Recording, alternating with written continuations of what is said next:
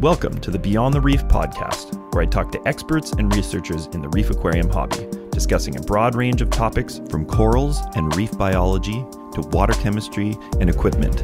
We take a deep dive into our guests' methods, techniques, and top reef keeping tips. My name is Adam Sutherland, and I am the owner operator of Frag Garage Corals, based out of British Columbia, Canada. Hey, what's up, guys? Welcome to another episode of Beyond the Reef. Today I am joined by Corey Treadwell, based out of Germany, aka Coralhead. And Corey is uh, the head of livestock at White Corals, which is one of the bigger coral farms in Germany. They have some amazing stuff. I would say uh, white corals would not be the best way to describe the colors of the corals that they farm there. And Corey is also involved in some of the product development with NYOS, which is a great company as well. So we uh, we went through a lot of different stuff. Corey is definitely a very passionate hobbyist, and um, I find that when I chat with him, he's always got a million things to say about everything. So I bet this conversation could have gone on a lot longer than it did. But I think we covered a lot of ground. If you haven't already, I'm going to ask that you hit subscribe on any of our channels or platforms that really helps us as well. One of the best things you can do is share our episodes in social media with other people in the hobby. At the very least, hit that like button, maybe leave us a comment, let us know what you think. And if you really want to support us, because we are trying to keep this podcast as free of ads or any commercial content, you can send us a PayPal at beyondthereefpod at gmail.com or you can also sign up for monthly payments to our Patreon. Just think of it as like you're buying me a beer or a coffee or lunch or something. You can sign up for our Patreon at patreon.com slash beyond the reef podcast. Anyways, I hope you enjoyed this conversation with Corey, aka Coralhead. Thanks for uh, making the time to chat. We've kind of been talking a little bit over the past six months, and uh, you know, I feel like you're a very curious and passionate uh, coral reef keeper, so we can really dig into a lot of stuff you've been you've been up to. But uh, maybe just as a start point, just tell me how you kind of got into the hobby and kind of how you got to where you are now. Uh, basically, I just fumbled into the uh, industry. I started working in a glorified Petco, basically of Europe. Mm-hmm. Um, was mostly uh, into terrarium snakes, spiders, stuff like that. Um, but one of my coworkers, he got promoted, so um, they needed somebody for the saltwater uh, area, and then they just asked me, and that's basically how I dropped into the industry. I never had anything to do with saltwater before I started working. Hmm. How many years ago um, was that? Thirteen years ago, basically. Okay, yeah. So you got some some some years in the hobby, that's for sure. Yeah, yeah. Um, yeah, and from there, um, I grew the saltwater department pretty fast, pretty uh, for a Petco style um, store. Um, yeah, cool. And I always like got more into the more designer uh, type of animals, like jawbreakers, bounce mushrooms. Um, and at some point, um, yeah, I changed jobs and it switched very rapidly from there. Um, I switched to Fauna Marin. I think you're mm-hmm. pretty familiar with Fauna yeah, Marin. Of course. Um, and became their store manager basically there. Okay, cool. So um, I guess like it's kind of funny. I was just thinking about this Petco type store where you've like gotten super into getting their saltwater section going really good, and it was it kind of like almost too good for that kind of store where people would come it in and really be like, was. What the um, heck is um, this doing here? Um, yeah, that's that's how um, Claude got um, wind of me mm-hmm. because I was so well known for being a Petco style store with that saltwater selection. Um, yeah, it was yeah. it was a wild ride there. Probably only a matter of time until somebody uh, picked you up and put you into a more, I guess, more professional situation. Not that that's yeah. not professional. It's just it's a little more like uh, a little more of a I don't know family pet store than. Uh, yeah, yeah, you don't have a lot of SPS customers yeah. there. yeah, yeah. So okay, so take me to kind of present day. You said you're doing some product development for NYOS, and then you're working at the farm at White Corals as well. Correct. Um, one and a half years, I switched jobs. Um, my job title would probably be store manager slash uh, head of livestock. Okay. Um, but everybody just calls me the coral head. That's why it's my uh, Instagram tag. Yeah, yes. Um, Yeah, I uh, do mostly at White Corals uh, the farm. So I, when I started, the farm was already running, but it wasn't running like in production. Basically, it was just running, and um, so I took that to the next level now. Um, and everything else, imports, um, ordering corals, unpacking corals, shipping corals, a lot of that. Mm-hmm. Um, and for NYOS, I do a lot of the product development. Okay, well, we'll break that up into two two conversations. So on the yeah. the, the side of the white corals, like obviously you guys are pretty big uh, um, coral farm in in Europe and mm-hmm. um, based out of Germany, obviously, right? That's where you are. Yeah, uh, correct. Which I didn't, we, we, didn't we didn't say that yet, but it'll be in the intro. Uh, so you said when they brought you on, the farm was kind of set up, but you, they weren't really fully culturing acro or corals yeah. yet. It was kind of like uh, yeah, they you know... were, but it was a big hodgepodge of everything. A lot of super slow growing corals, corals that don't get sold a lot. So it wasn't really running um, profit wise. Mm-hmm. It was running for growing corals, but it wasn't running to bring money into the company. yeah, that's the whole point.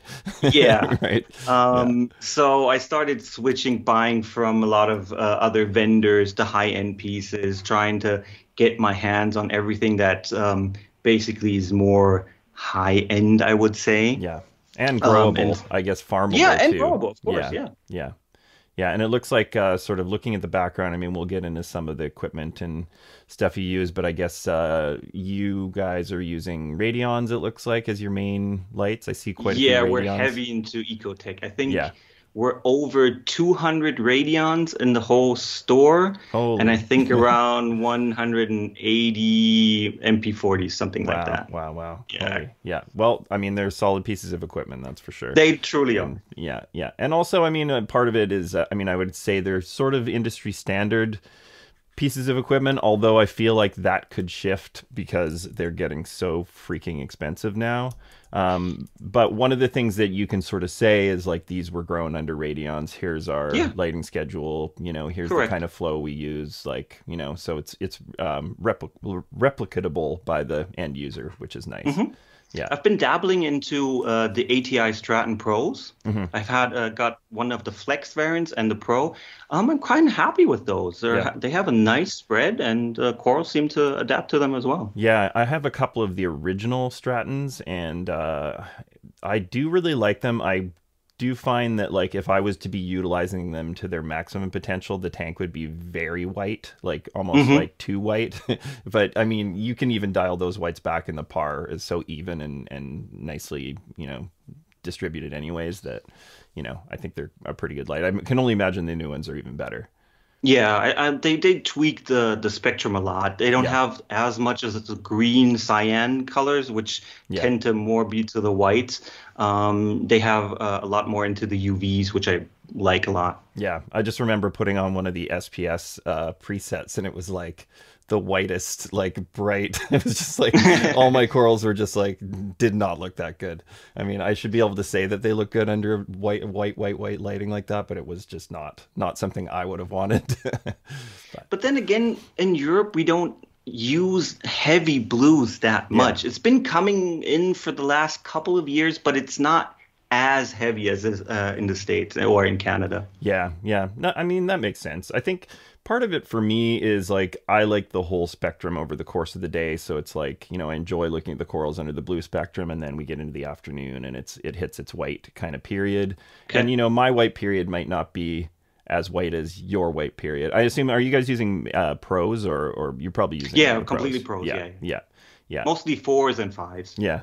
And how many so uh, as far as the systems there, like how many separate systems, how many like liters or gallons of, of total systems would you say? So the farm has four systems. Two main systems which have uh, each 4000 about 5000 liters. Mm-hmm.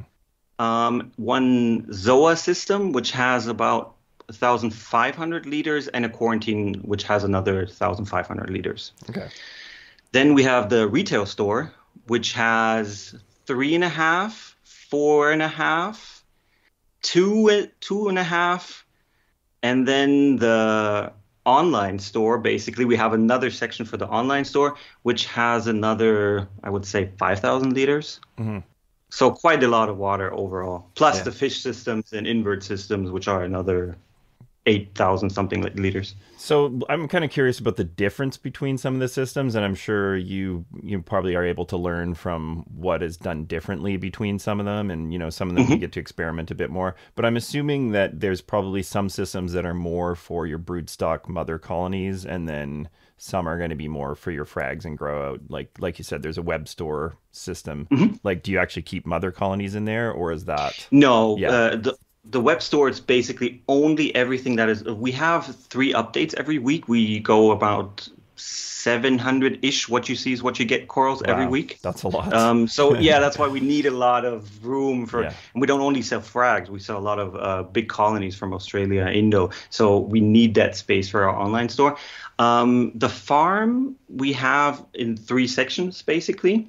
Um, the first section, which is about three and a half meters long by a meter 50 wide, um, is mother colonies on both sides. LPS and SPS, mm-hmm. and then the rest, um, which is all the uh, the whole tank is t- 10 meters, so another six and a half meters just frags. Yeah, yeah, that's a lot of frags because I, I, mean, if you're if you're updating 700 WYSIWYGs a week, that's uh that's a lot of volume yeah. moving. Yeah, but uh, I mean, at the same time, seeing that kind of volume come through, you get to see a lot of coral coming in and i'm oh, sure oh, yeah. like it must be kind of cool to be able to see that kind of volume and to cherry pick and kind of set aside things that you know are like okay this is a keeper mm-hmm. um, yeah that's always like Christmas for me. We get about one shipment every week, sometimes even two shipments. Mm-hmm. Um, last was from Tonga. Um, that was really nice. Haven't had that in years um, seeing some really nice uh, yellow uh, leathers. Since we can't get Fiji for some reason, we still okay. can't get it.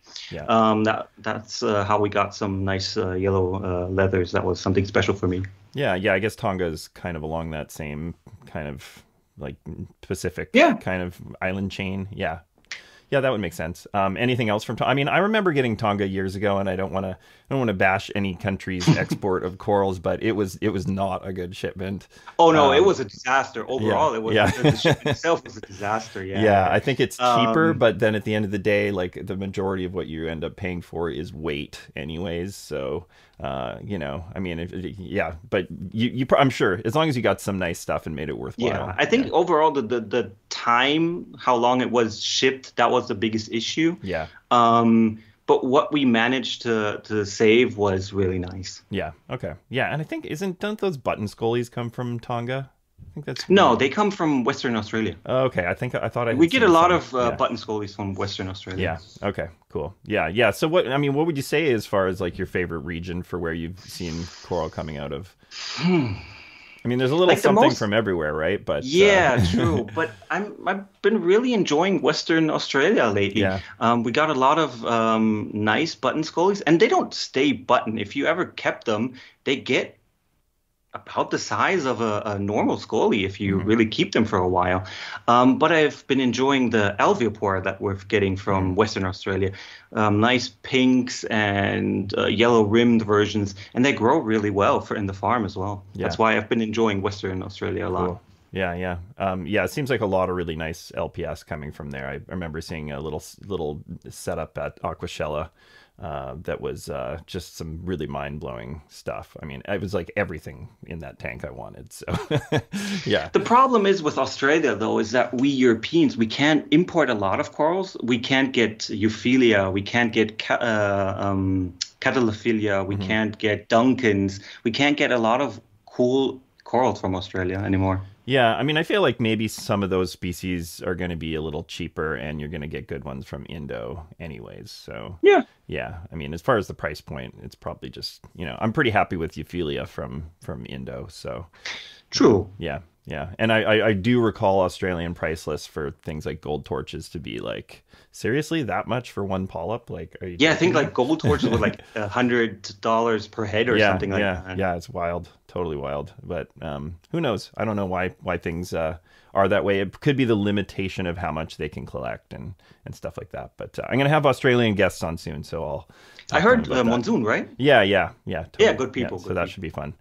Yeah. So, okay, I want to talk a little bit more about the differences between the systems. Like, mm-hmm. um, you know, as far as your ability to experiment and sort of influence how these systems are run, is there anything like really specific you've tried on, say, two sets of water chemistry or um, you know something else to do with the methodology of a system maybe, maybe it's the way the major elements are supplied anything that you've done specific and sort of noticed like some good uh, taken some good information from so I've always been a big ICP uh, proponent. Um, I've I was there when it started with Triton. I was back uh, when he still had his store. Basically, I visited him back then because everybody was saying, "Oh, ICP that can't work for saltwater aquariums." So I mm. went there firsthand to see how it works.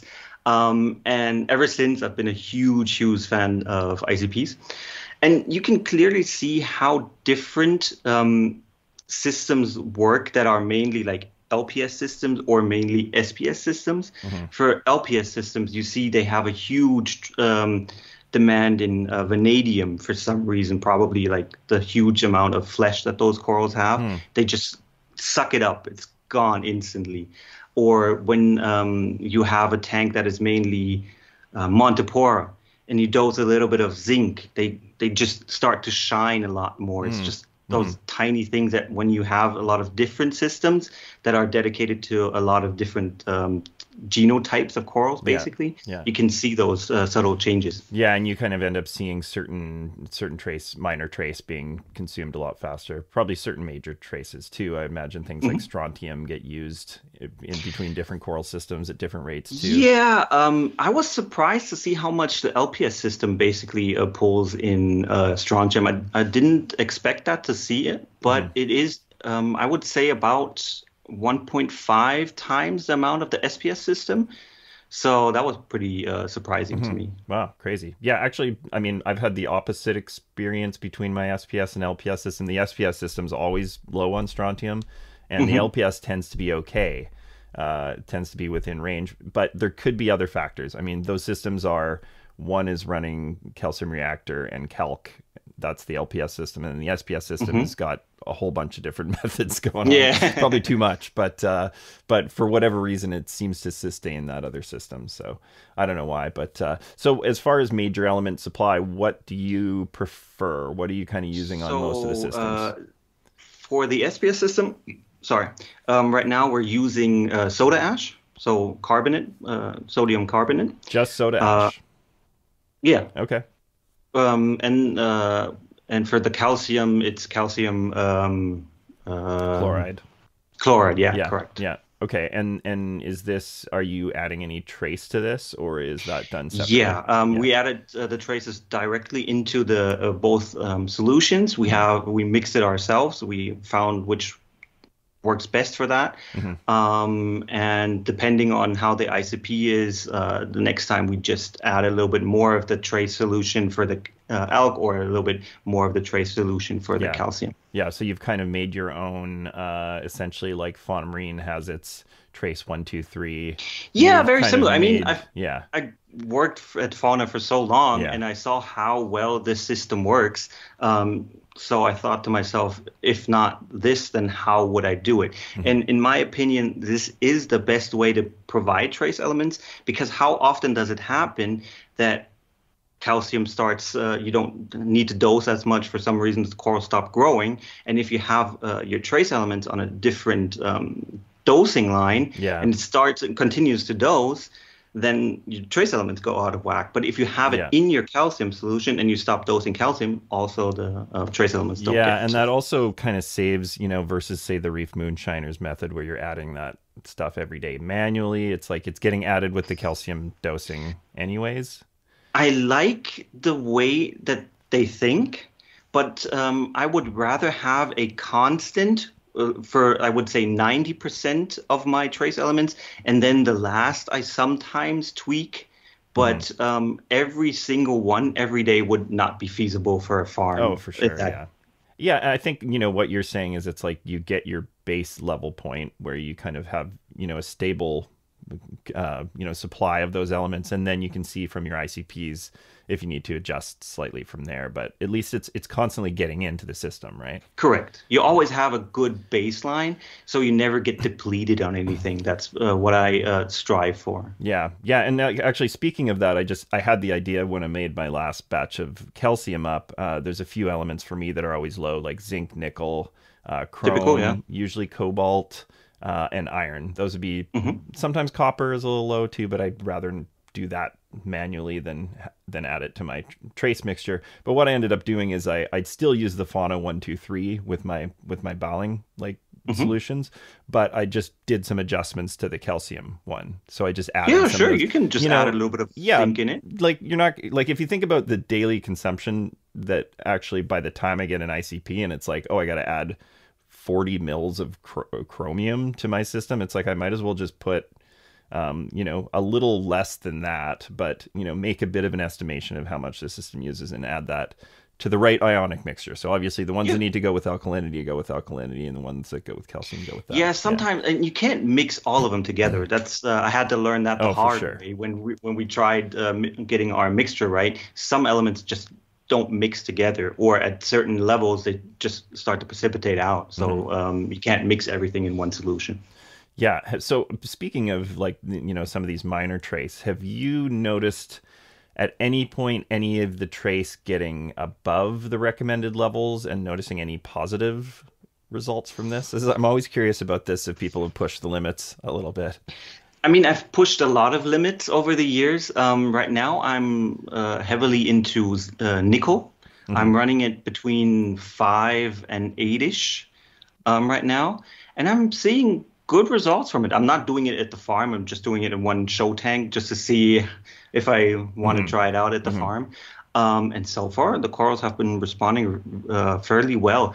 I've you never know what they really do, but I've read a lot that it helps um, base growth of mm-hmm. acropora, and it does seem to help. I mean, a lot of acroporas they've been growing bases. I've never seen they basically looked at like they're trying to uh, engulf the whole rock. Basically, yeah, interesting. Yeah, because I feel like corals.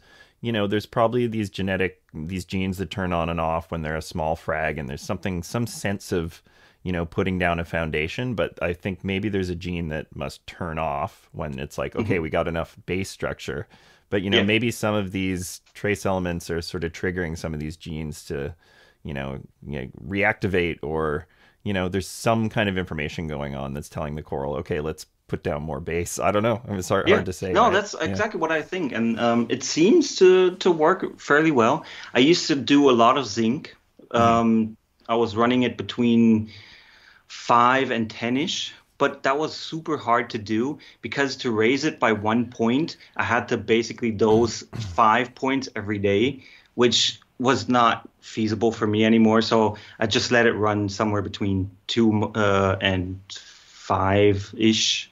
Okay. Yeah. I should actually pull up my ICP and compare to that. But uh, uh, how do you measure yours uh, with ICP MS or OES? Well, I mean, I did. I've done the MS and the OES. Uh, mm-hmm. I mean, generally it's OES. That's I'm usually using the Fauna um, mm-hmm. ICP. Good test. Yeah, solid and, test. Uh, and you know, I think it's it's in their future to start offering MS as well. Um, as far as I know, they actually do have MS machines, but it's just not part of their laboratory testing yet. So, I mean, it, you know. what I could tell from uh, talking to um, Christoph from OSEAMO, it's mm-hmm. really complicated to get it right mm-hmm. um, because there's so many more steps and um, like overall like the hygiene even like a small hair uh, follicle could yeah. change everything totally. so that's a big hurdle to get that right that's what I, he told me basically yeah okay yeah so i'm just looking at this last icp and it's interesting because you said you yeah you experimented with putting zinc up in the how much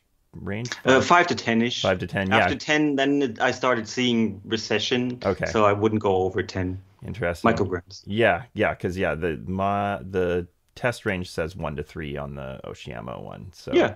Uh, yeah, so you're definitely pushing that limit. And then the other one was nickel. His says two to five. So you yeah, I'm at two, five to eight somewhere. Yeah, in, five to eight. Yeah.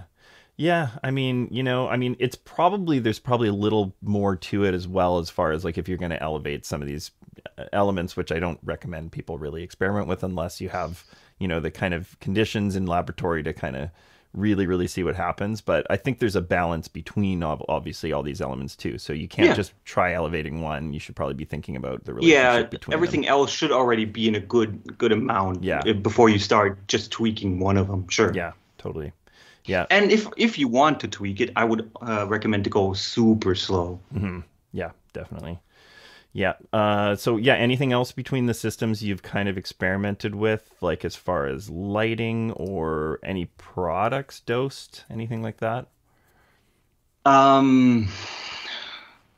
Well, I'm a huge fan of uh, feeding my corals. Mm-hmm. So um, to see how the LPS systems and the uh, acro systems react to it is very interesting. Um, I've been dabbling with a lot of fatty acids lately. Um, and for the LPS systems, you basically just see them getting super puffy, really big. Um, so if you have like a Scoli, it like triples in size. wow. But for the SPS, they get the white um, uh, the white strings. Filaments, what is called? Yeah, yes, yeah, correct. You see them extremely long, very similar to um, what the concoction, what mm-hmm. in the states is now everybody doing. Very similar to reaction if you dose um, fatty acids. Okay, so are fatty acids are aminos, right? Like, are we kind of talking about? Yeah, no, no, no, not aminos. Or, or, can you no, kind of no. elaborate on on what you mean by fatty acids then? Um, omega three fatty acids uh, mm-hmm. is a very uh, easy one. Like um, you get it with fish oils. Mm-hmm. Um, some uh, I use uh, phytoplankton, a mm-hmm. very um, a type of phytoplankton that you can't you don't see in the aquarium uh, products basically. Um, aminos, I dose a lot of aminos as well. Um, I came up with a mixture for NYOS. um, with the, the, team over at NYOS. Um, it leans very heavily in the polyp um, promotion, basically. Mm-hmm. Um, I've been enjoying that a lot.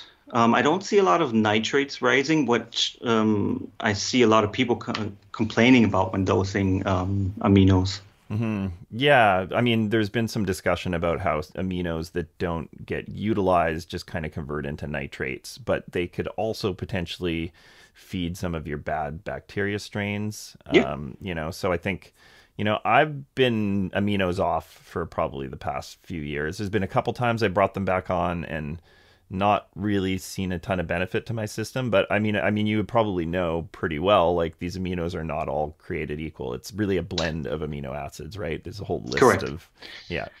Some of them promote cyanos really fast. I've seen that with some products when you dose a few times a little bit too much um, you get cyanos i mean that's not a secret. Yeah. Um, i've been working with a lot of sugars lately I love. Uh, I've been dabbling into that, um, reading a lot of papers because um, some sugars seem to promote the microbiome really well. Hmm. What what I've read, and I've seen uh, a lot of improvements with aquaporic color. Even though my uh, nitrates and phosphates are pretty high in one of the show tanks, the coloration is um, like I ha- would have super low nutrients.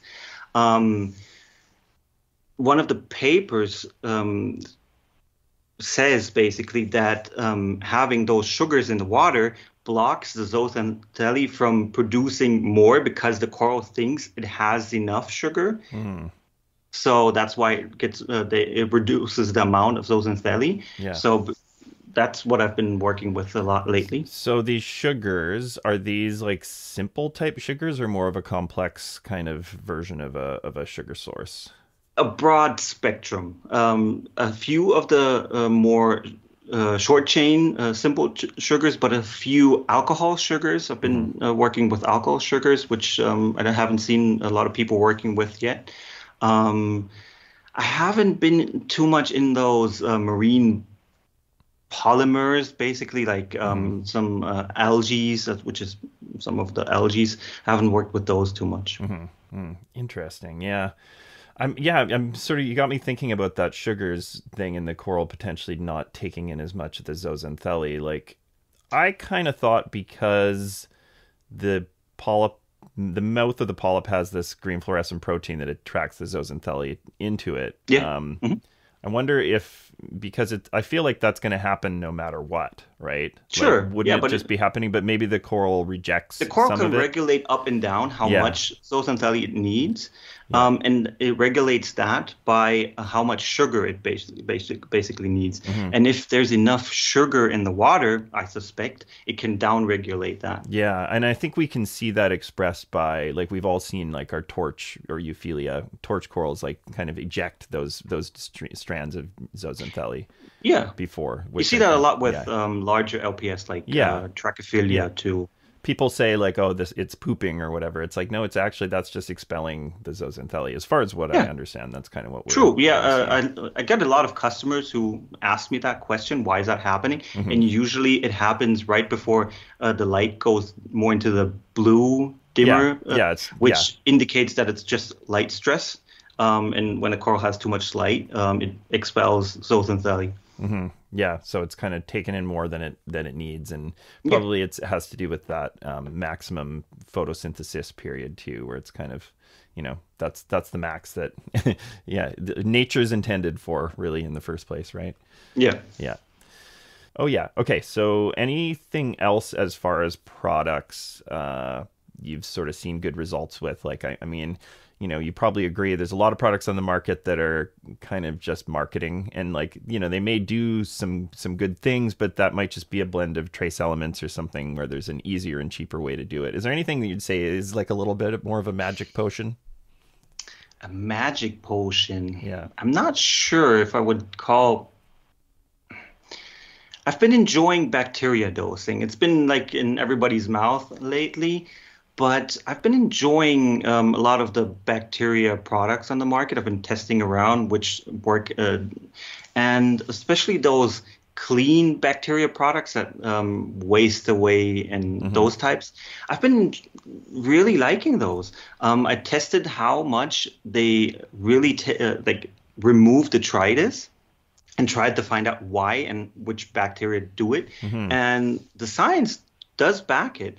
And the tanks look phenomenal after dosing. Uh, water much clearer, um, much less sludge around the tanks. Um, I've been really, really enjoying bacteria. So, so these, yeah, I, I know about these kind of products, and I haven't used them any time recently. But is it is the kind of the concept in a way that the detritus is more um, put into a form that allows it to be skimmed out as a because it's obviously that that particulate that makes up the detritus is still being created. It's still fish poop and whatever else. So where what's actually but it- happening? it's very often like cellulose, um, like which is the rest, and not a lot of bacteria can, um, or chitin, um, and not a lot of bacteria can break that down. And the, uh, those bacteria and these specific products are able to break down chitin and cellulose, and then have it back in the water column to be skimmed out.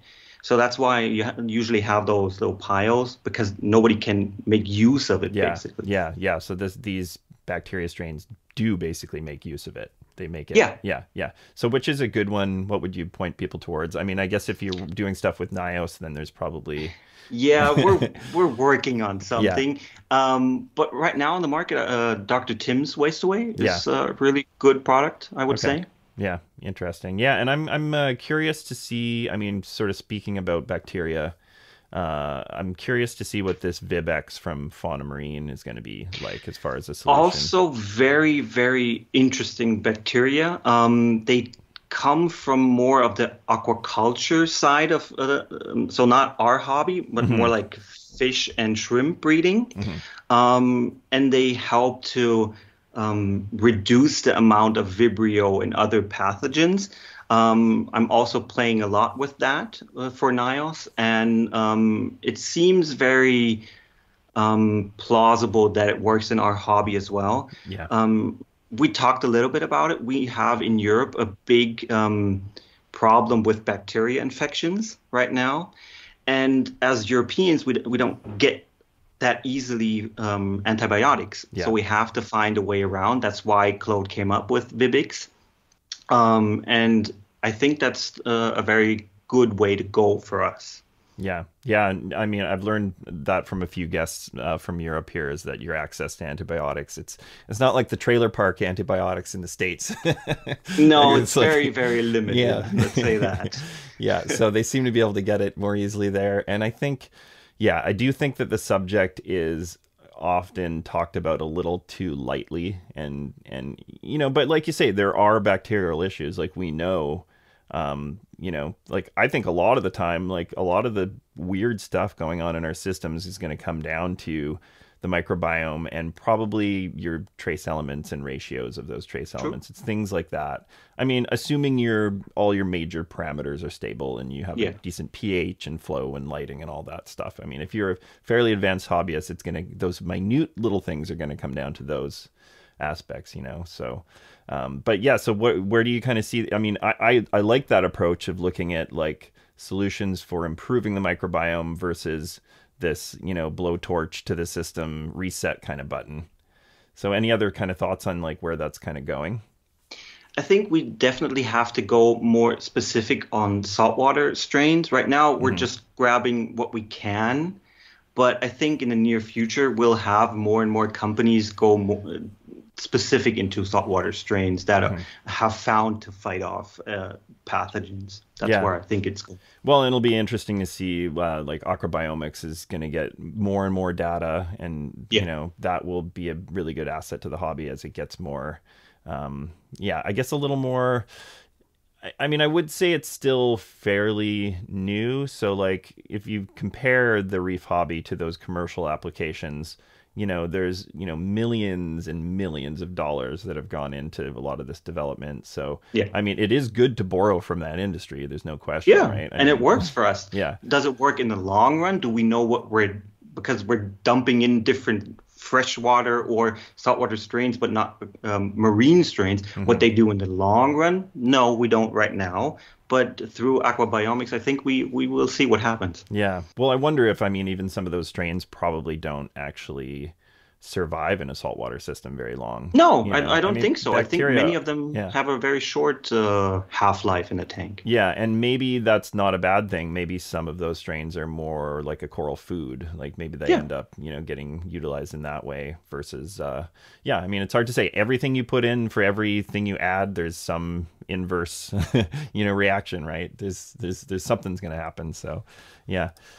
Cool. Yeah. Well. Um. Yeah. Bacteria. That's. Uh. It's. It seems to be the the hottest topic of the last couple of years. Uh, right now. Yeah. yeah. I mean, the whole trace elements uh, is so open, so transparent now. So we mm-hmm. have to find something else. Yeah. Yeah. Totally.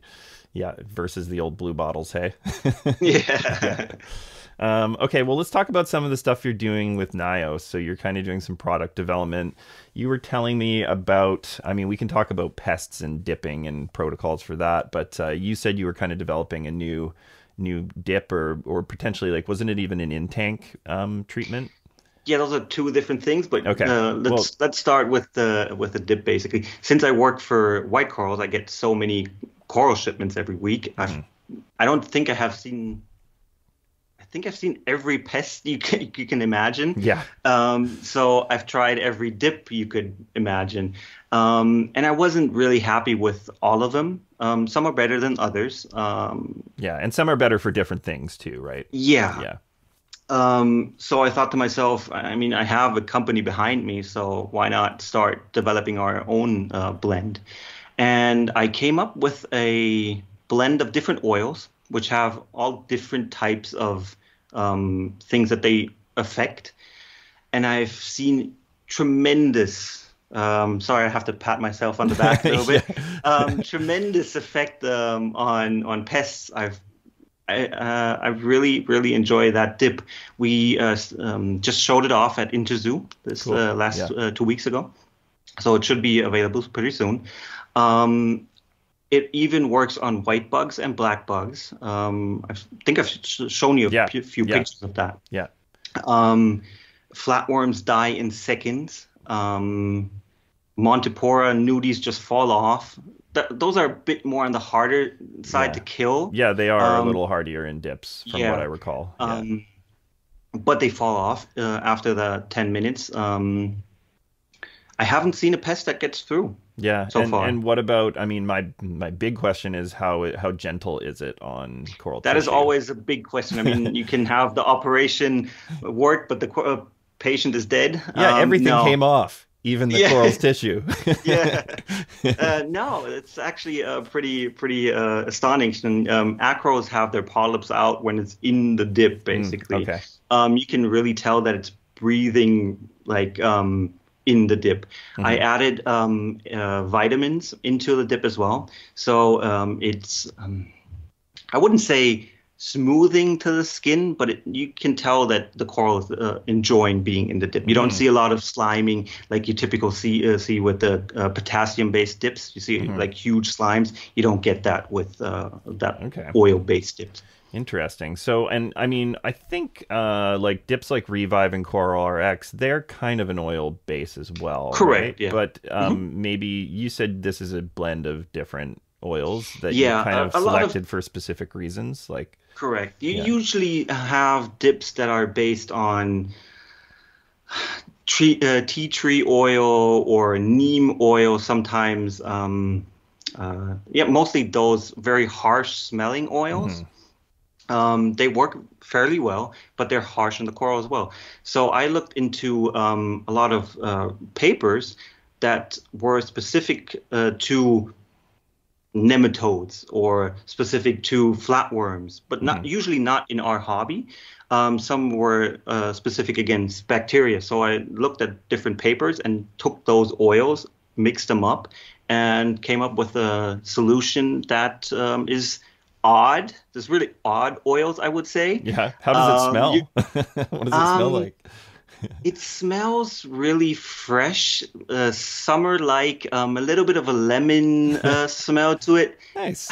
When I give it to people, they just want to take a sip of it. That's uh, so I have to write on it, "Don't drink it." Yeah, yeah. Um, no, it's. I think it's going to be uh, a great um, product for reefers and um, like companies as well who Cool. dip a lot of so this will be a NYOS product. yes, Yeah, this okay. will be a nice. Do you, do you, does it have a name yet, or is it uh, still? No, we're still the- on the fence on how we're going to call it because we're NYOS is completely revamping all of their products. Yeah. Um, we started showing it off. We'll have um, a new two-part, which is basically a three-part. Um, so what we did is we managed to take the original Balling, which is a three-part, and we took the um, sodium-free salt and split it and put it into um, the alkalinity and the calcium. So you have a ionically balanced salt in two, basically.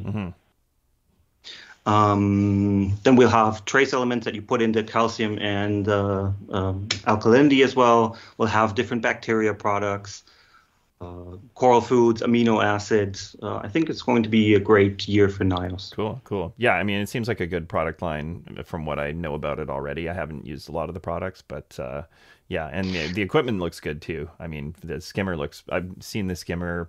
Uh, I don't know if I've seen it in person, but I researched it pretty well, and it seems like a pretty awesome unit for the price. Yeah, uh, we talked about Leo not too long ago. Yeah. He just ordered a few of the new skimmers for the his farm Nice. Yeah. because he was really impressed with one that he had.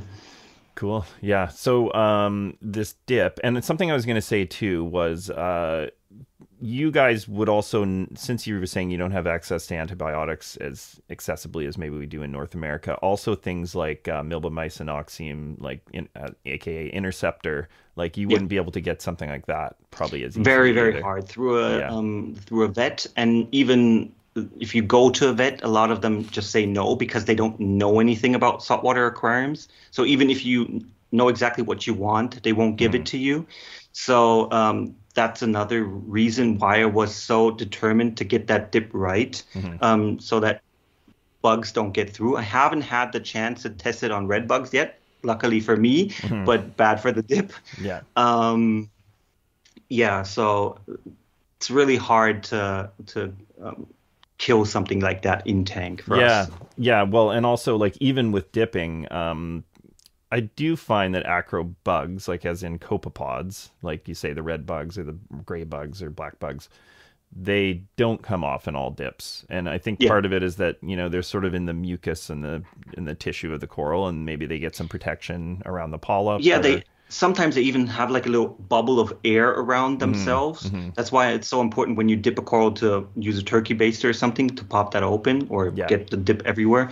But they're very hardy too. Um, they can block off and get like immu- it's not a real immune system, but they can block off taking in certain types of toxins. Yeah. That's why some of the potassium salts work on them somewhat because they can't block it off because it works through hyposalinity, not um, through a toxin. Yeah. Well, it sounds like it is a toxicity level of the potassium to them as well. To a little but I bit, would yeah. imagine for a crustacean, that hypersalinity would be one of the more the more Yeah. reason for that, that that it would come off in that case. Maybe the flatworms, it's the toxicity because their whole Yeah. body is basically a membrane for Mm-hmm. you know. But but I mean that would also be the salinity too. I don't know, hard to say.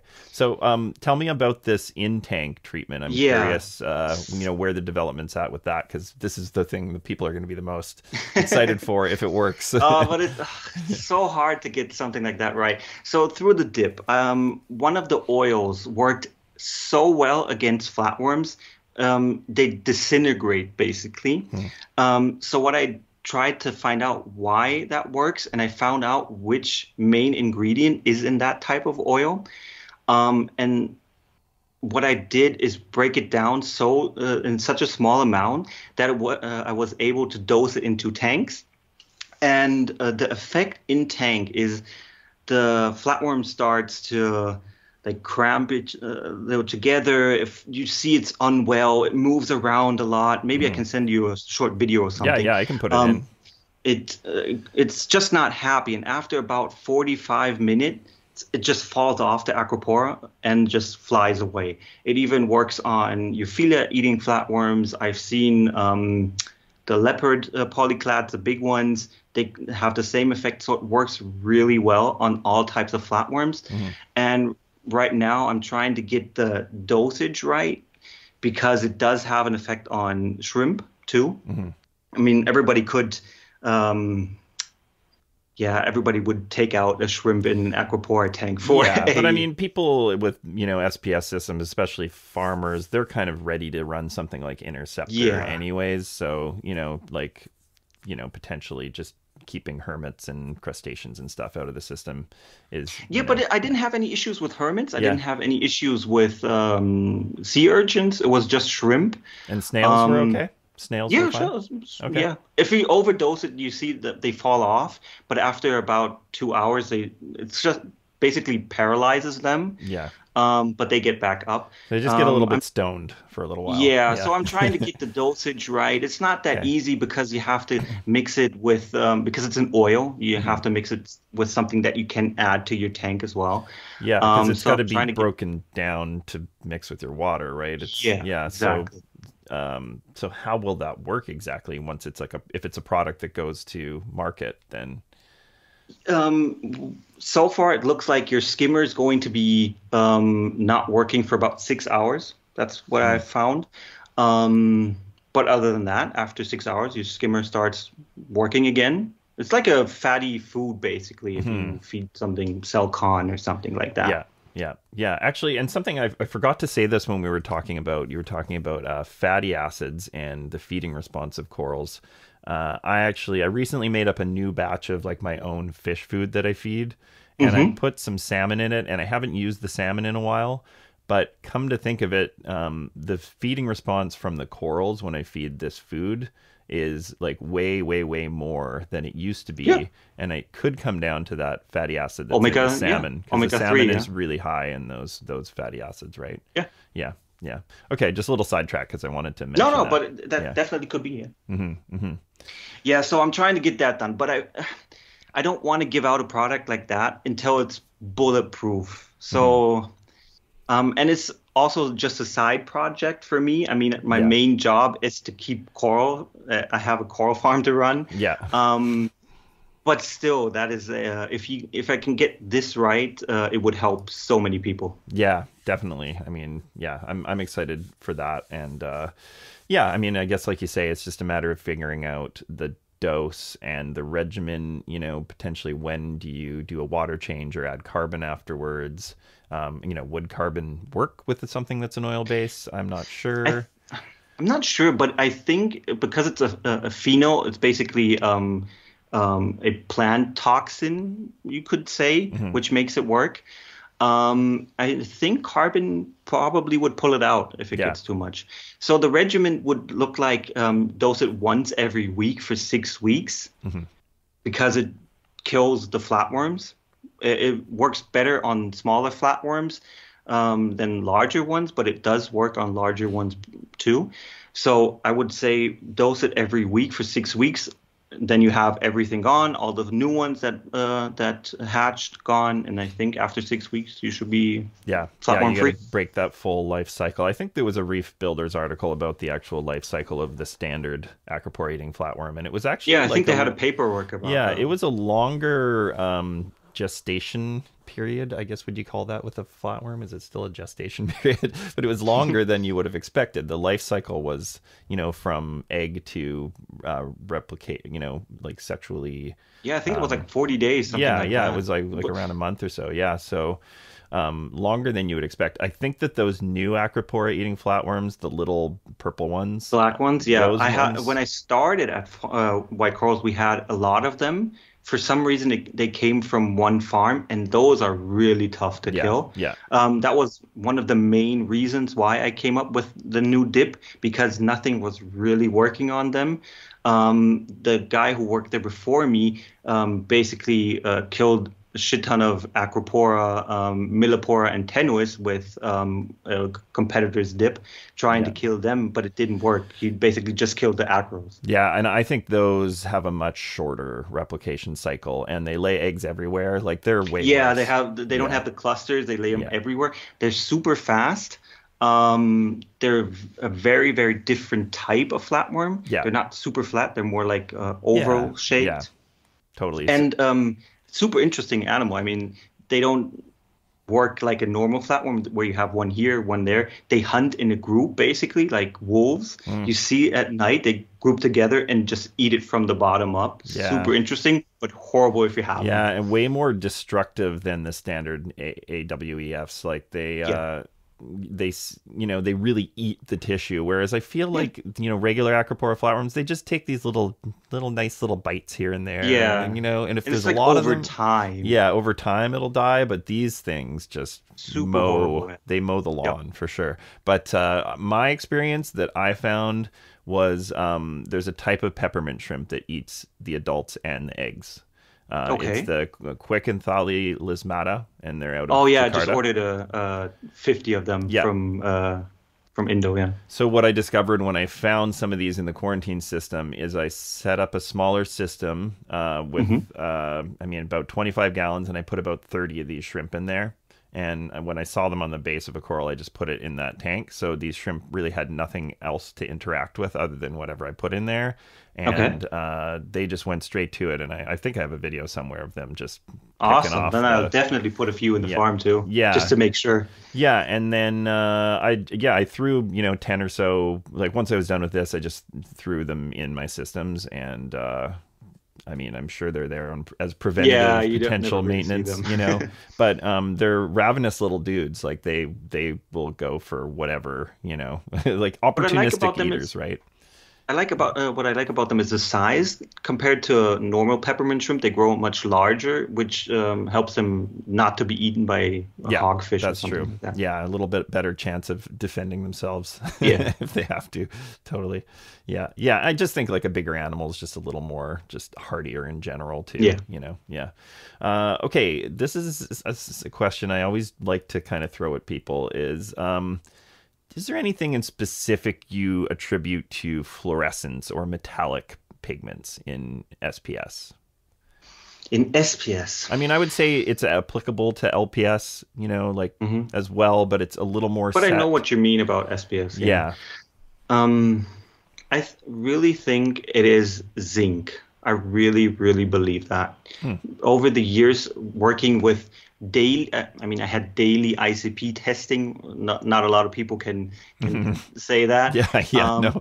Weekly would even be pretty impressive. But... Weekly is even pretty, yeah. pretty big for, for uh, a lot of people. No, but you instantly see a difference when you dose zinc and the next day. It's just a big, big difference. I believe having that down or at least having a good amount going in daily um, will improve fluorescent and and the, the the shine on the coral mm-hmm. a lot. Yeah, because I mean, for me, that's one of the main things I'm sort of trying to to get out of my systems is that that mm-hmm. metallic shine.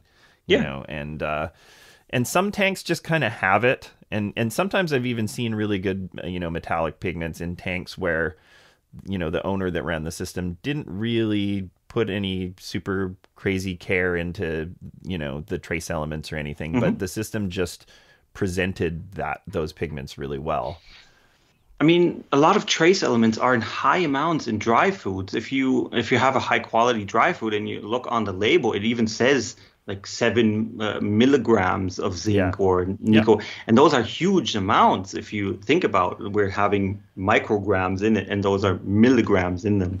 Um, so that's why a lot of tanks run so well by just being fed. But yeah. the people are feeding good foods. Yeah, that's a good point. And I, it was actually Claude that I heard talking about that. I think on Reef Bum, he was mentioning, um, you know, a lot of trace elements get in from our, our foods, even our dry foods. And if you look, you'll see a breakdown of what's in there. Yeah. And uh, I actually was kind of trying to trace down where I was getting this high manganese in my system. This was a manganese, while back. Okay and uh, and it's interesting because manganese is low for some people. It's just one of those ones that for me is often elevated. And I looked mm-hmm. at the food, the pellets that I was feeding. The, it was Vitalis, and it was very high in manganese. Yeah, um, see. And you know, I, it could have been one of the inputs. It's like it's all about that thing where we've got intentional inputs and non-intentional inputs. And, Correct. Yeah. And you know, you can you can look and and you know, I went and researched some of the other foods out there, and actually, Fauna made a food where when I looked at the breakdown, the manganese wasn't a high element in that food. So I made that switch, and um, I think my manganese is, is, still a little elevated, but it's not as high, it's not rising like it was before. So okay. yeah, yeah, I think that's interesting think things to keep in mind. Using tropic marin salt, right? Yeah, yeah, yeah. I mean, tropic marin salt does have also a bit higher uh, manganese already from yeah. base yeah, yeah, and my understanding of manganese is it's an okay element to have elevated. Yeah, yeah, I, I, see a lot of. It's always hard to say, oh, this this element does color this, but you do see a lot more deeper reds with manganese. Mm-hmm. Mm, interesting. Yeah, and again, uh, you, like you were saying, with zinc and maybe being one of the main elements responsible for that, you know, metallic shine that probably also is another thing to do with the balance of the other elements too because again if you, if the zinc is elevated on its own then that's probably not going to be good but if you have a good mm-hmm. base level of everything else then yeah. Yeah. Yeah for sure. Um, actually funny question and i, I kind of find this like a i don't know it's a, almost a bit of a thought experiment but do you would you agree that color is always an indication of coral health or would you say that there's some variance in that because I believe there's that's not always an indication. Yeah, I would agree with you because I've seen brown acropora which grow extremely well, and I know they can color up really nice, but they were brown with polyps out, growing extremely well, which in my opinion, shows that the coral is happy, the coral is healthy. Um, color is not always an indicator. Yeah. No. Um, I mean, in Germany, we say um, having pastel colored tanks is basically having a porcelain tank because it's so colorful. But if you snip somewhere, everything is going to break. So yeah. that would indicate a very unhealthy tank if it's too colorful. Yeah. Um, yeah, because I've seen corals that are colored really well, but not really putting out axial growth tips or, mm-hmm. you know, where, you know, maybe some of that color is actually coming from some some of these pigments are being produced as a protective mechanism. Yeah. You mm-hmm. know, whereas, you know, some of these yeah, like some of the corals in my system that grow the fastest are not always at their best color, you know, because maybe their nutrition needs are being met really well and they just don't really need to put resources into that component yeah. of their biology. I don't know. Um, I believe we're heading in the wrong direction right now with uh, going more into the true UV LEDs. I think we're now getting more into risky areas because whenever, uh, especially like newbie aquarists run their radions with 100% UV or near UV, mm-hmm. you can tell that they have issues because a lot of times uh, trace elements aren't there yet because they're not dosing it, and the coral has then issues um, protecting itself from those UVs. And now we're going near true UV, and I think a lot of people are going to burn their corals um, soon when more lights with that come out. So so you're saying some of the newer lighting models are going to have more of a true UV because I know yeah, this was think... sort of brought up in a few sort of reefing podcast conversations about yes. how the UV that's in radions and some of these lights is not true. Those are not UV because they're yeah. not under 400, but mm. the Straton Pro has true UVs in it, and I've seen a lot of uh, newer tanks having issues with that.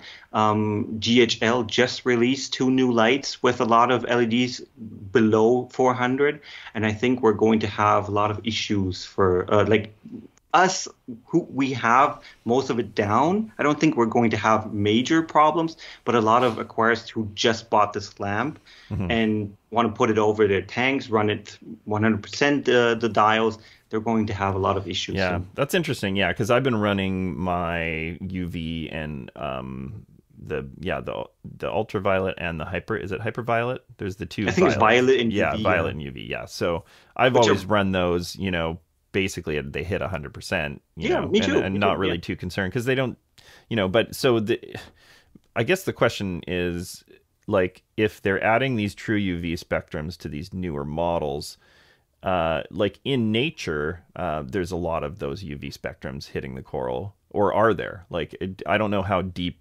I, I mean, I would assume UV spectrums actually penetrate pretty deep under the ocean, right? I think Than was talking in a podcast about that on uh, reading about a paper, and they don't get too deep UVA and UV. Um, the UVA doesn't penetrate that deep, okay. so I don't think corals get hit by it that hard. I mean, of course, when there's like some acropora do when there's no uh, when they're um, on low tide. Yeah. But it's always I don't like to compare what we do as aquarists with the ocean because basically it has nothing to do with the ocean. What we're trying to do, we're trying to imitate it, but we have nothing in common.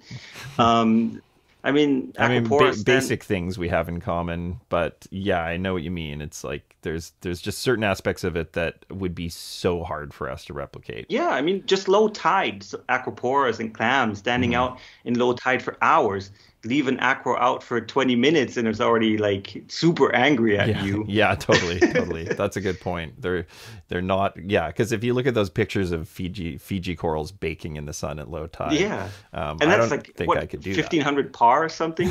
Like... yeah, yeah.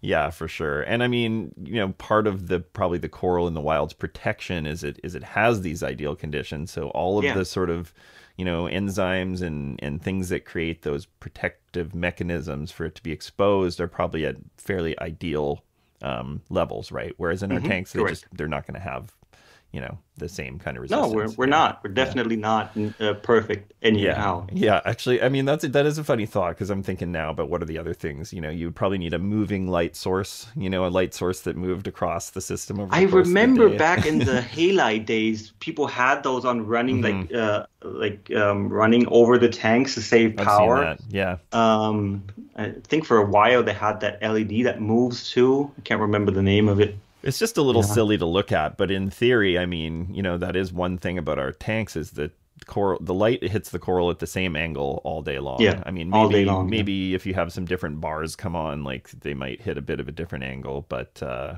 yeah, I mean, that's why I still run T5s just like for for a couple hours. T5s have the best uh, spread. Yeah, yeah, they fill all those nooks and crannies for sure. I guess, and yeah. So another thing would be um, just to stay on this this tra- thinking train for a second because it's kind of interesting. But the flow would be another thing. I just don't think we ever yeah.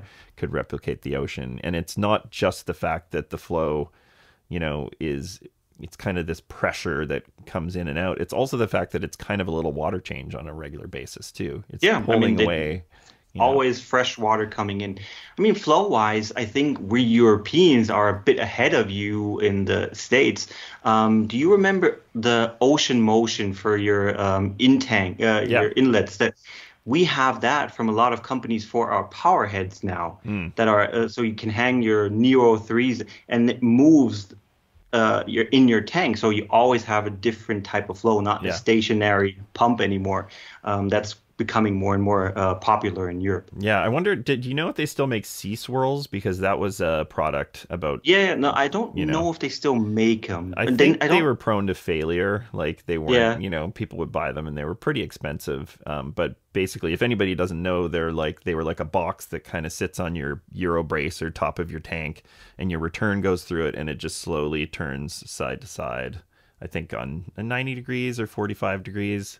Somewhat like yeah, something like but that. they, yeah. they they were cool. I mean, you know, but you're right. I mean, I think the more you can randomize, the better. And uh, yeah, like something with an actual mechanical movement would be Yeah. would be would be better. Yeah, like I don't think we have a, a ton of access to those products in in uh, no, they're America really getting big uh, in in Europe right now. Yeah, yeah, especially some of those um some of those wave pumps that are um you you can't change the direction of them like um you know for example MP40s or something yeah, like but. MP40s you couldn't really do that with because the Yeah, I magnetic mean- side's always on the other side. But something like a Neptune WAV, you know, those are like very like they're a very powerful pump, but they're just like like right down the center. like they don't, straight. Yeah, or like, like, a Panta Rhei, something like that. mhm, yeah. So it'd be cool to see more development on on that side of things. Yeah, for sure. Um, do you want to talk about lighting a little bit more? We're kind of Sure. kind of down that road, anyways. So, um, I guess you know the big topic recently, and a lot of people asking about is peak photo period. And so, so what's your kind of feeling? There's two kind of double question here, but um, what is your thoughts on how fast uh, you should get to your peak period and how long the peak period should be? And then I guess I'll also add what do you think is the maximum photo period you should have in a day? So how I do it, um, I have about an hour ramp time from start uh, to peak. Um, So it goes up pretty fast. Um, it stays in peak, which is daylight, so super bright daylight. That's how I run it um, for four hours, and then it goes slowly down into a full blue for the rest of the day mm-hmm. which is basically 11 hours the whole day. Okay. Yeah, and uh, this has been a, a discussion. I you probably heard about the bolus method. That's kind of kind of Yeah, not really. We slightly heard a little bit of it. Yeah. But I don't have, I'm not super in depth. Yeah, I mean, yet. I'll get a, a guest on or or Claude or maybe yeah, maybe both uh, Doug and Claude to talk about it. But uh, I Mm-hmm. mean, the idea is to dose your entire alkalinity dose for the day. Yeah, but yeah, if This yeah. Mm-hmm. is sodium bicarbonate, not Bicarbonate, not do 'cause it wouldn't work with- yeah, yeah, exactly. don't do that. but you dose pretty much the whole dose that your tank needs Mm-hmm. for the day, and the way that the buffer system and everything processes it. It's sort Okay. of you know essentially. But one component of that is to time that bolus dose with the peak photo period coming up really quickly. So, what's your kind of thinking on getting the photo period up quickly? Um, and you know, maybe that could be something you could compare to nature too, right? How quickly do they get it up in the bolus system I think it's like within half an hour to an hour, you're at your full peak. Yeah, okay. I mean, an hour, that's Similar to you. Yeah. Okay. Yeah. Yeah, I've been always. Um, I like to have it like fast, um, up, and I comb uh, use um, usually a combination when um, when the it starts to peak. I dose my aminos, my vitamins, um, my other coral foods. So right when the coral is like super in growth mode, it has all of these um, fast um, uptake Yeah. um, foods basically. Yeah. Yeah. So I, I, I would I would say that makes sense. Yeah, I mean that's similar in the in the along the lines of the bolus dose too, because it's this big, you know, all of the trace elements that are coming along with that alkalinity, which I think are going to be some of your, I think it's Uh, like potassium, iodine, iodine. bromide, a little bit Yeah. of potassium. I think that's what mostly in trace Yeah, three. yeah, yeah, totally. So you know, and those are uh, pretty significant components to growth as well. So that would make sense. And they help against like light stress as well. I mean, Mm-hmm. if you have that much light then you need something like iodine to protect your coral against uh, light stress. So Yeah. it makes sense. Yeah. Yeah, and then um, to compare back to nature for a second, because now we've, we're talking about this, but uh, I mean, the sun does rise pretty fast in You have tropical like a regions. yeah. Yeah, like I mean, even though the sun might be low on the horizon, you know, within about a half an hour to an hour, a reef would seem fairly bright on a clear sunny Yeah. Mm-hmm. day. Yeah. So, so yeah, I think that would be applicable to nature too. Um, Yeah. Yeah. Yeah. Um, maximum par. You know, what what have you kind of seen for? I've- you know, I'm I'm not too much into like a par wars. I don't go too crazy, but some millepora do get up to 700 uh, Mm-hmm. when I when it's full daylight. Yeah, so that would be like the maximum you would hit your Yeah. SPS with. Yeah. Um, and then sort of your average, what would you say for most SPS? Like, what do you kind of? I don't care about numbers end- that much either. But Yeah, but it's 250 to 350, the typical um, range. But I've seen acros that are fine in the 100 parish. yeah, So, but some of the more, like Acropora, Millepora, uh, Abrotanoides, the ones that get a lot of light, I try Yeah. to give them a lot of light as well. yeah, yeah, totally. That makes sense. Yeah, I mean, we talked about um, we've gotten through the acros on my coral series with Chris Meckley, but there's a I few mean- acros that we mentioned that you're like, you can kind of put this one anywhere and it's going to kind of look the same. I think you uh, mentioned the Austera, and I agree with that. You can Yeah. keep that on the bench of your window, uh, and it still would be happy. yeah, yeah, still be the right color. Totally. Yeah. Yeah, no, I don't get too obsessed with the the par game, and I um I I want to have a guest actually on to talk a little bit more about par um and lighting, and it should be interesting because I think he has a test for the maximum the amount of light that a coral takes in over the course of a day I was about to say that because it's, there's a difference if you're talking about 12 hours of 350 par Mm-hmm. or six hours 600 pars it's basically the same amount of light just um, in a few hours Yeah. so it's very hard for a newer aquarist to understand those principles that it basically um, it, we have to talk about the amount of light that it's getting Yeah. over the course of the day not just um, a single static number um, and I think Acropora can only take in for six hours photosynthesis any, anyway. yeah I heard it was four hours so or four hours. yeah I, yeah. I know it was some somewhere in, in that area.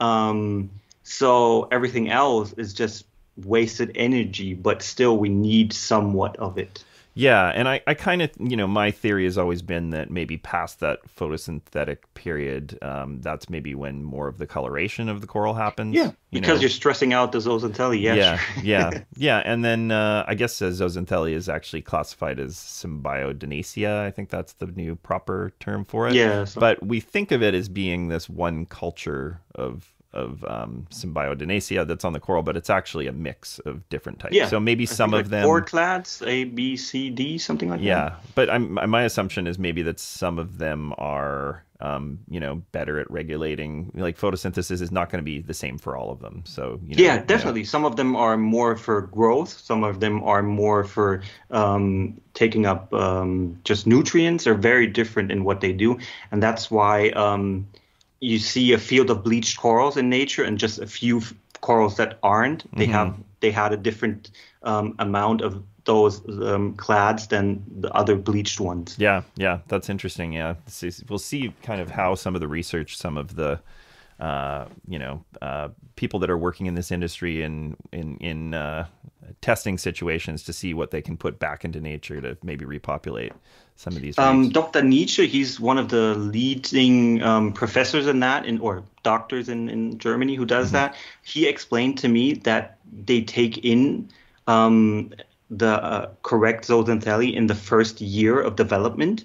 So if you breed them in higher temperatures, they take in the zooxanthellae that helps them work with higher temperatures. But after the first year, it's very hard for them to switch around again. So if you already breed them in the right condition for nature, it makes it much much easier for them to be um, repopulated I back see. out. Yeah, they're more open. Yeah. Yeah. Interesting. Well, he'd be an interesting person to talk to for sure. I can try to get you connected. He's Yeah. uh, um, he just uh, showed at the Interzoo um, uh, his acropora that he has sexually reproduced. Mm-hmm. Um, it's a hybrid between a tenuis and a echinata. It's oh, wild! Super, super interesting uh, acropora. Never, yeah. um, and it's a true tenuis, so it's from Fiji. Yeah. Um, he showed a few austeras that he's been growing. Um, they've, I think they're like six months old, and you're you can see like how big they are for six months. Um, and I think he's working now on trying to get it into com- uh, commercial um, size for other companies. Cool. Um, I'll, yeah, he's yeah. very interesting. It sounds interesting. Actually, that just made me think of when you said echinata and tenuis. It made me think of uh, Acropora striata. It actually, to me, it looks a little bit like a cross between those species. Yeah, but, yeah, it's very yeah, similar. Like the vivid too, insanity yeah. is the is the striata. Yeah, that's a that's a cool coral for sure, which we don't see very much. No, we don't actually. Yeah. So I'm gonna guess because you have this affiliation with NYOS, and like, is the farm using a lot of NYOS products? Like, are you using their yes, salt? Predominantly, yes. Um, the whole farm and like the whole store is just using um, the NYOS salt. We produce it in house, so um, mm-hmm. uh, until I think around two years ago, NYOS was still in the same building as uh, as ours, but now we moved it out um, because we just needed more space. But the salt production is still in house. Um, I'm I, I, can't say anything negative about the salt. It's, yeah. I'm very very happy with it. Yeah. Um, we stick true to what the name is. It's a very pure salt. Um, every salt batch is uh, ICP tested, third party, so we can't fake any numbers. It's just a yeah. high end German salt. Yeah, that's that's good good to know. Yeah, and I, I mean, there's like, it seems like the German companies are making some of the better salts on the market for the most part. So yes, you know, I mean, you're in a competitive market. Tropic Marin, Fauna Marin, we have very very good salts in yeah. in Germany. That's true. Yeah, and not to get you to, I guess, I mean, uh, maybe compare, but. uh looking at some of the data on different salt mixes, like I guess, you know, part of the development is figuring out how to get those, you know, trace elements and all all of those, you know, yeah. elements to kind of like when everything's mixed to actually end up being like a true, you know, representation of what you want it to be. But it's like you say, it's still always going to be a little different, right? Yeah. I mean, every salt that you buy, each single ingredient has a downside. Um, so sodium sulfate, I just found out, we were looking at sodium sulfates, um, has a huge um, uh, zinc uh, attached to it. So mm. you need to find the find the right producer of that that doesn't have that issue with zinc, and e- uh, each ingredient has that issue. So what we did was we got the purest that we could afford because I mean you can make salt unaffordable if you want, but you have mm. to make it somehow affordable for uh, reefers. But um, right now we're still missing a few of the tiniest um, trace elements like copper. Um, zinc is not in in the salt because it's just so hard to mix it in yeah. in the right amount because if you get it as a contamination of a different salt, it's easy. Then it's already in there, but mm. it's not consistent because then you have one batch with five, then one with 10, because it's not always the same amount of co- contamination. So we went the route to have as clean as possible. So we're missing those right now. Um, but we found a way to mix them in. And we'll have more info than that pretty soon. It's yeah. going to be, I think it's going to be pretty, pretty interesting. Um,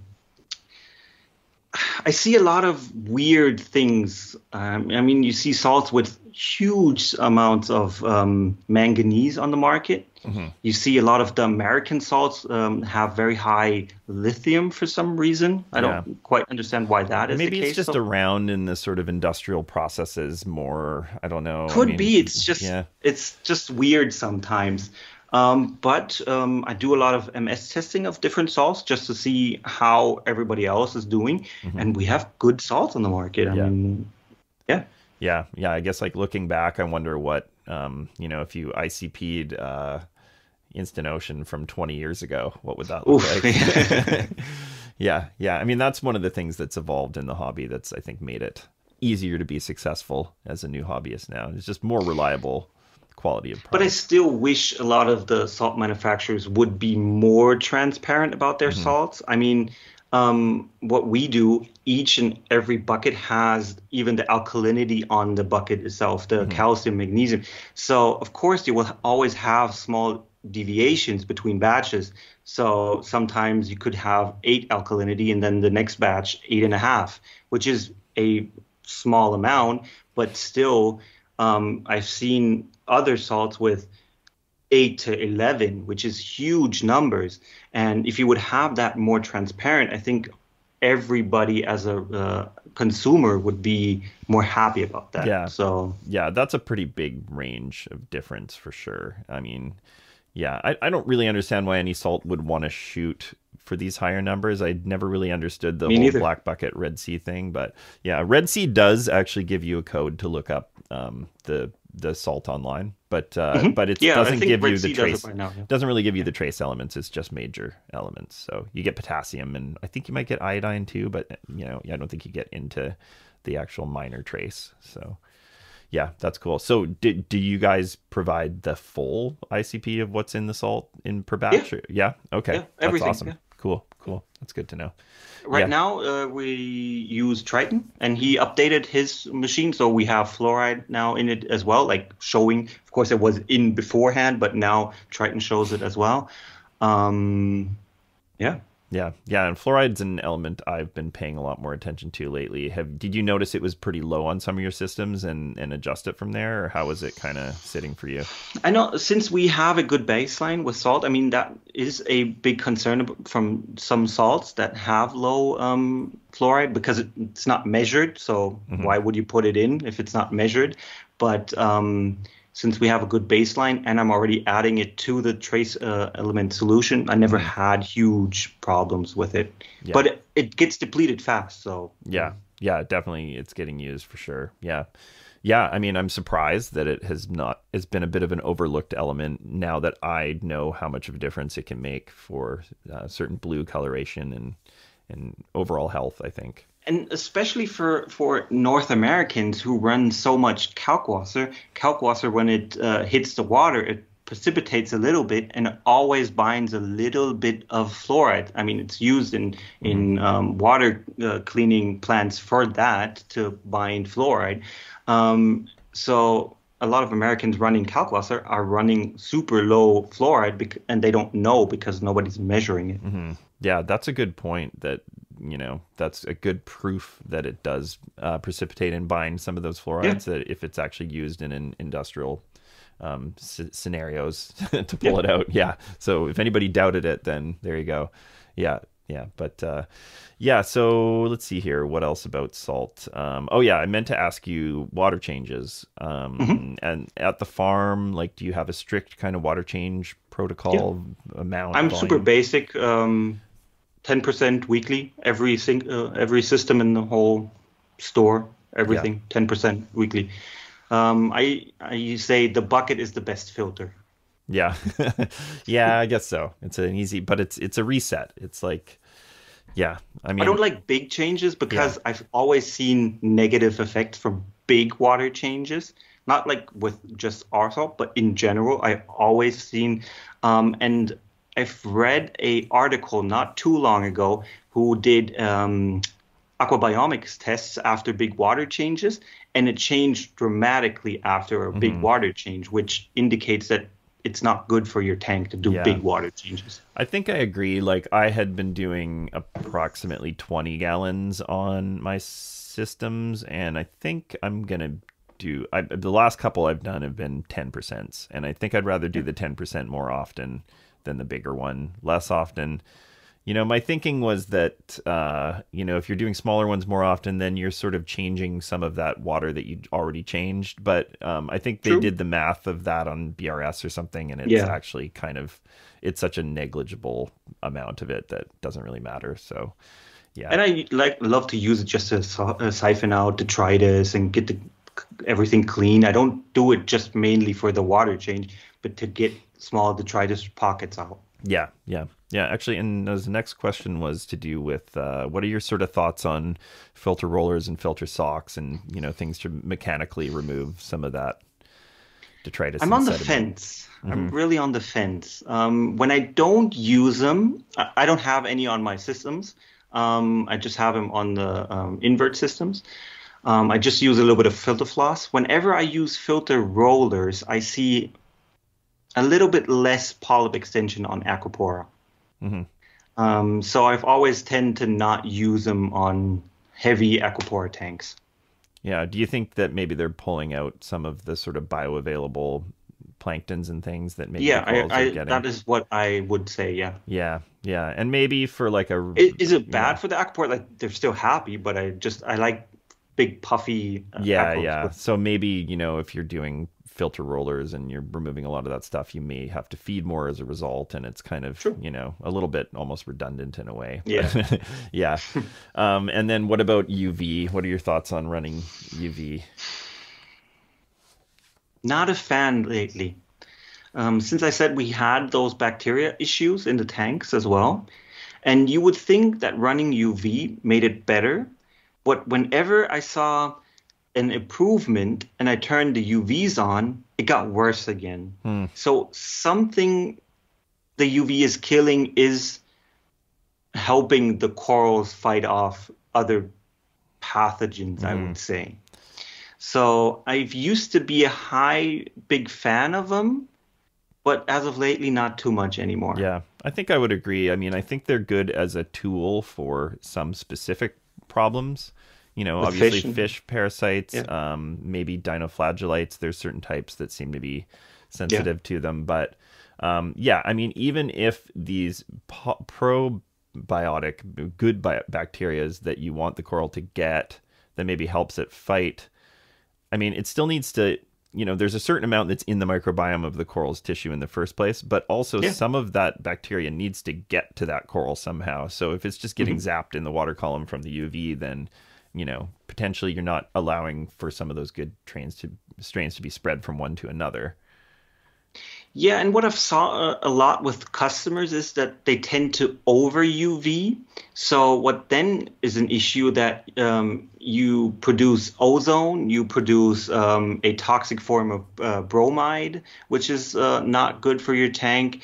Um, that's why I don't like to just randomly let people run UV. My customers usually don't run UV. Yeah, and I mean also like it's another point of failure in any system too. You've got this True, yeah. glass, um, you know, thin glass light bulb basically that's you know Produces wired- a lot of heat as well. Yeah, so and and I've seen people not plumb them in properly because I know you're supposed to set them so that if your return dies, that the UV, if it happens to stay on, it will at least be submersed. You can't be dry because that's when if your water comes back on, it- can crack Correct. that bulb, it, right? It, overheats, yeah. Yeah. And uh, and usually I see a lot of people who run it uh, plumb it in their return line, which usually is just too fast, so it doesn't Mm-hmm. really have a big effect on pathogens or um, uh, pests for for fish, anyways. Um, and when it pulls water, it should pull it from the tank, not from the sump. So if you have issues with dinoflagellates, I do uh, recommend it. But then I would hang it over the tank and let it suck from water from in the tank and go back into the tank. So you have the um, dinos right where they yeah, are. Yeah. That's I had the best success with dinos when I put it right into the main system. So Yeah. it seems to be the way to go. Yeah, totally. Uh, okay, well, I won't keep you too much longer because I know No, you got o- a, it's fine. a little kiddo. okay, but uh, okay, so well, yeah. There's a couple little, a couple other things I'd like to get into. So.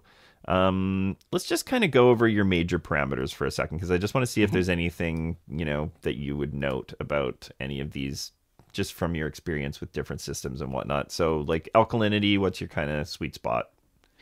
I like to have it between eight and eight and a half max. Okay. Over that, I usually saw um, issues, especially when you have lower phosphates. Um, you get those burned tips. That's why I don't like to run it uh, higher.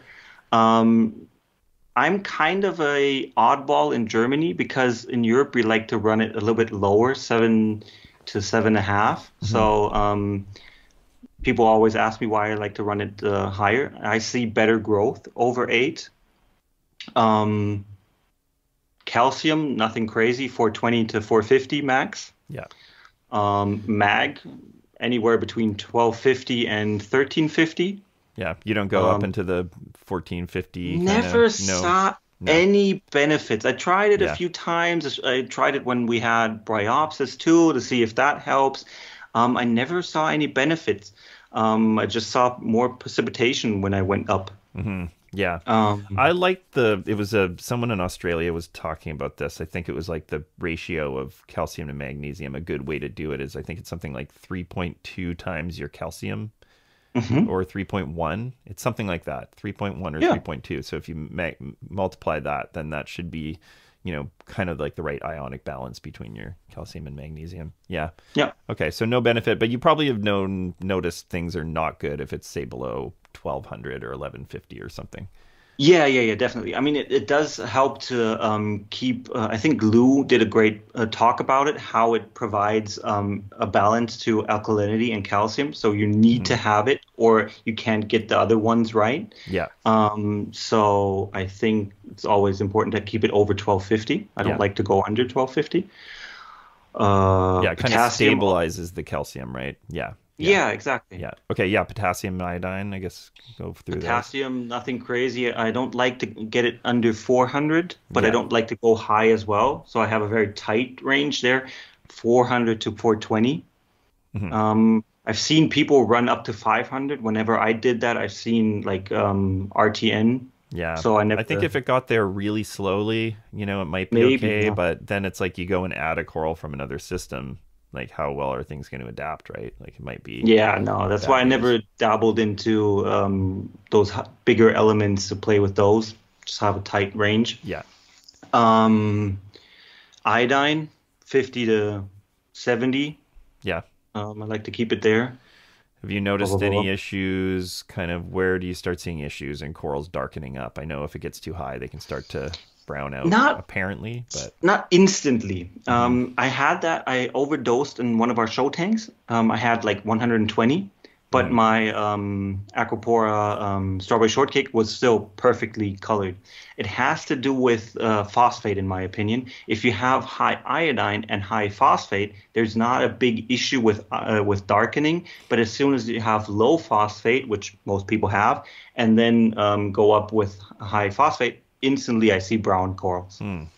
yeah, interesting. Yeah, so that's one of those balances again, I guess. Yeah. Yeah, totally. Okay, so on the nutrient side of things, I'm sure you run systems at different uh, ranges, but Not maybe uh, really. whether I never- intentionally not too not. much. Yeah. Yeah, no, no, not too much. Of course, uh, I always have issues running my SPS system, getting nutrients in. Um, but I try to keep everything between five and ten nitrates.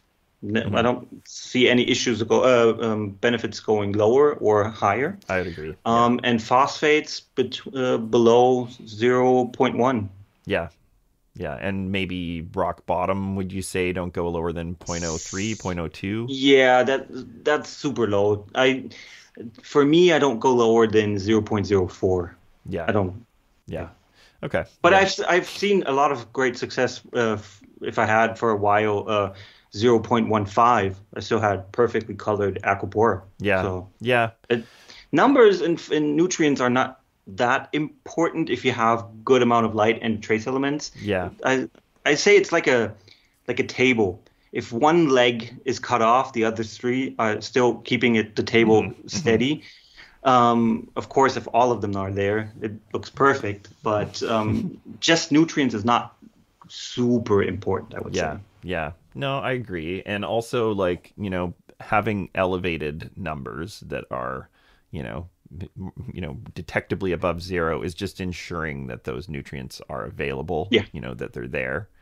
You know, so that's why a zero is really bad, but a 0.01 phosphate at least is something, you know. Yeah, it's something, but I already Yeah. see issues. A lot of like the die off from the base, um, if it goes that low, and 0.01, that's just one hiccup, and then you're at zero. Yeah, so exactly. I, mean, tried- I'm not recommending, and and you know maybe also there is a saturation point where it's just not that available until it's above 0.02 or 0.03. You know what I mean? Yeah. Yeah. Yeah, and um, I mean, I've seen a lot of issues as well when like we talked about amino acids. When I have super low um, phosphate and I start dosing amino acids, I see issues. But if I have it over 0.02, 0.03, that's at least, I never had any issues. But as, as soon as it goes lower and I start dosing, I see issues instantly. Hmm. That's interesting because I would have almost thought people that are sort of struggling with low nutrients, like that might be a good time to use an amino.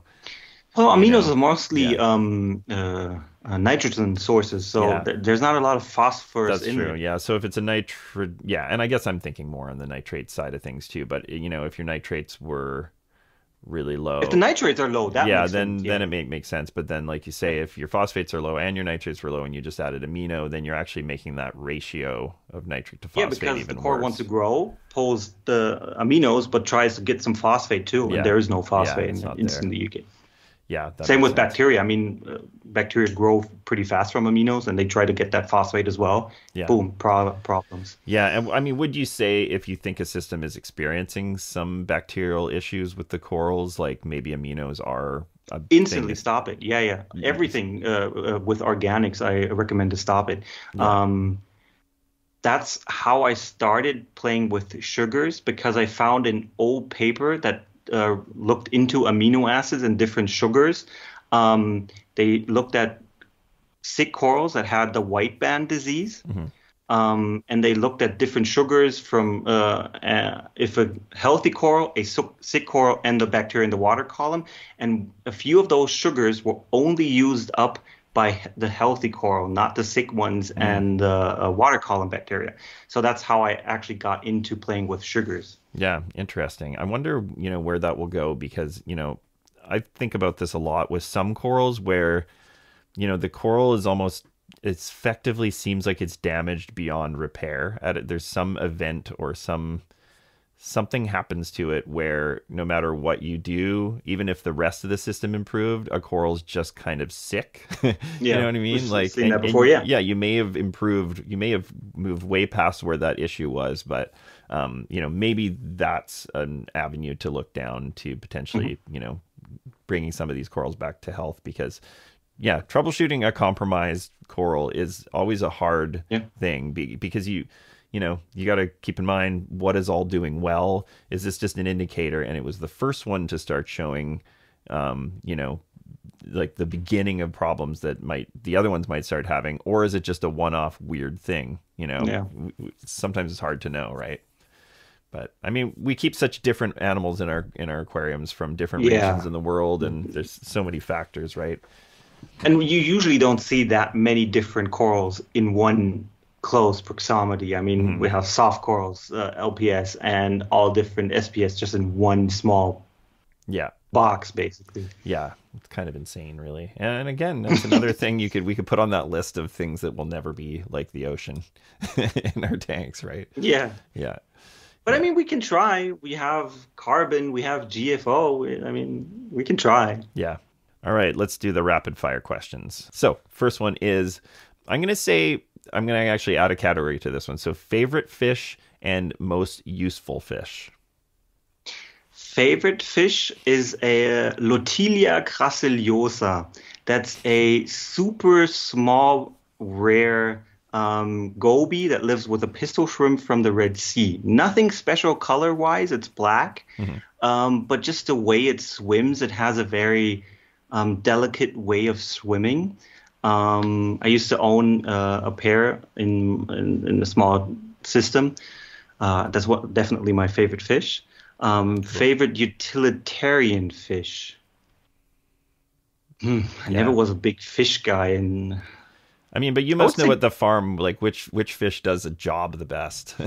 um, it's a type of mandarin fish that I really enjoy in the farm. It's um, Synchiropus ocellatus. It's a um, yeah, it's like a larger version of a mandarin. It's not mm-hmm. super colorful, but they have a great uh, way of interacting with each other, male and female, and he eats flatworms. Okay. Yeah. yeah. Well, that's that's a job that needs to be done.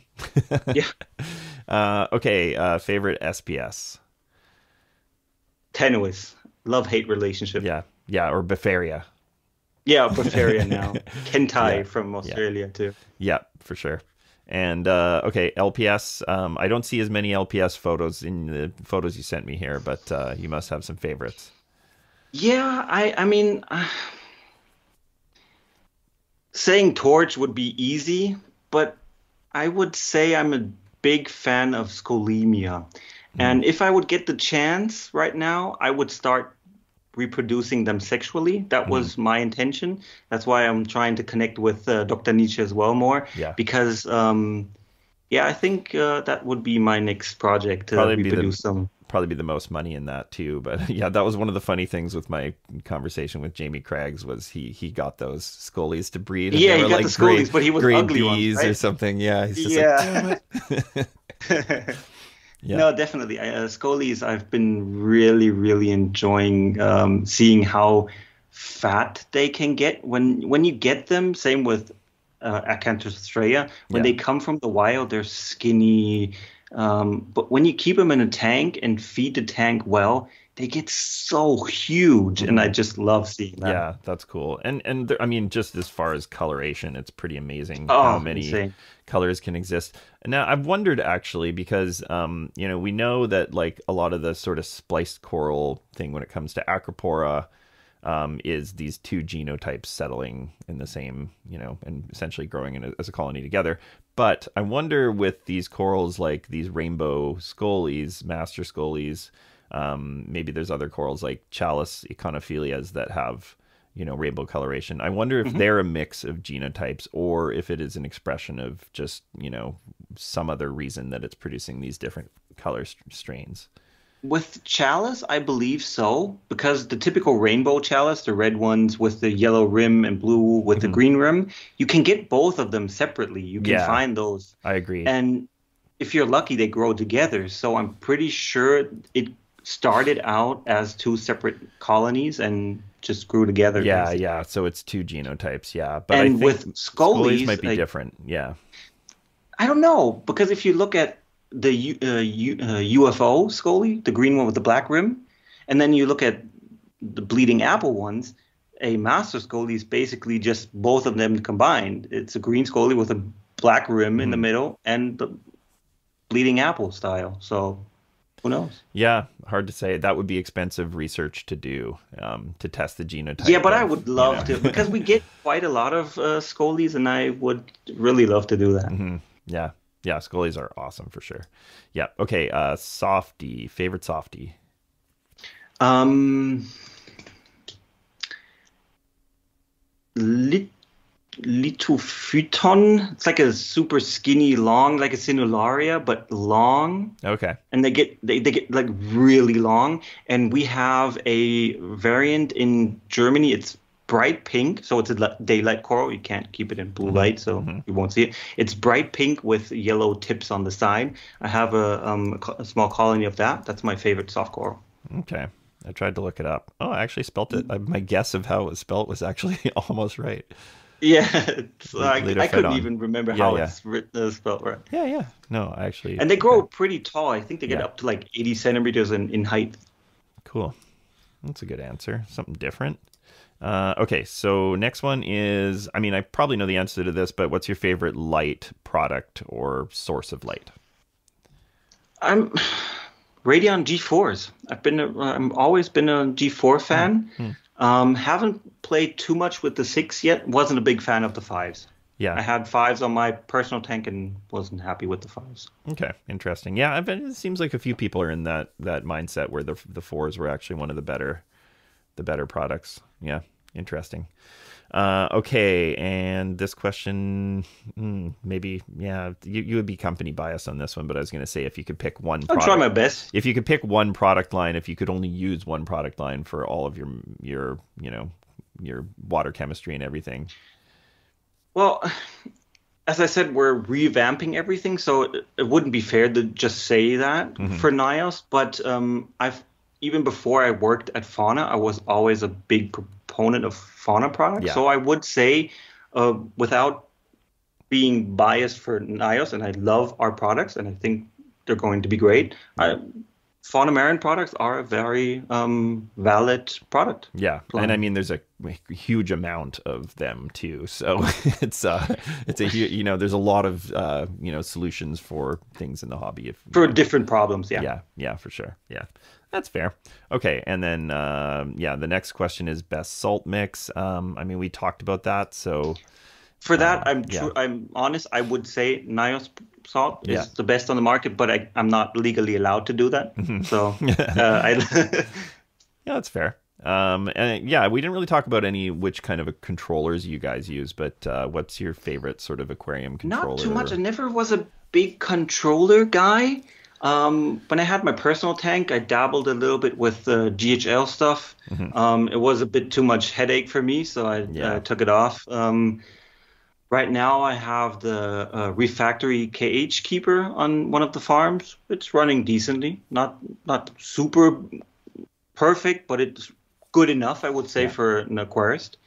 Um, and I wanted because I was in at the Reefapalooza in April.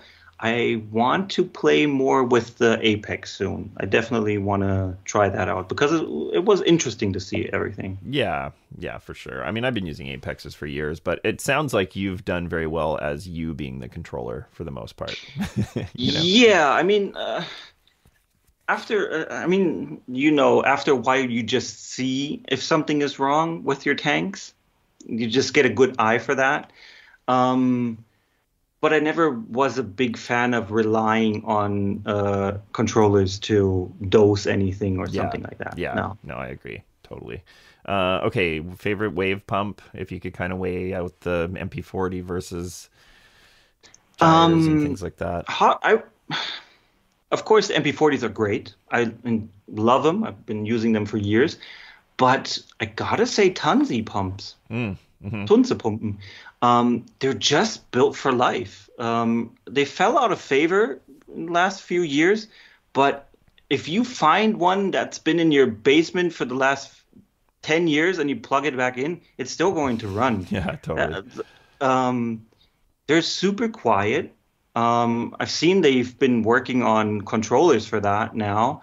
Um, I I like tons uh, yeah, tons of. I agree, and I like that you can the way the mounting brackets are on those um, turbo. Yeah, you can get the flow everywhere where them. you need it. Yeah, yeah, yeah, yeah. I agree. I mean, I haven't it's not like uh, those Koralias or something. I've heard horror stories about Koralias basically blowing up and crashing a tank, and you know, oh no, yeah. But but these t- Tunzes, they do just seem to just keep running for years. Like they do, yeah. and I mean, they the new one uh, it, it runs with I think 12 watts, so it's super efficient. Mm-hmm. Um, power wise and us as we have super high uh, electric prices.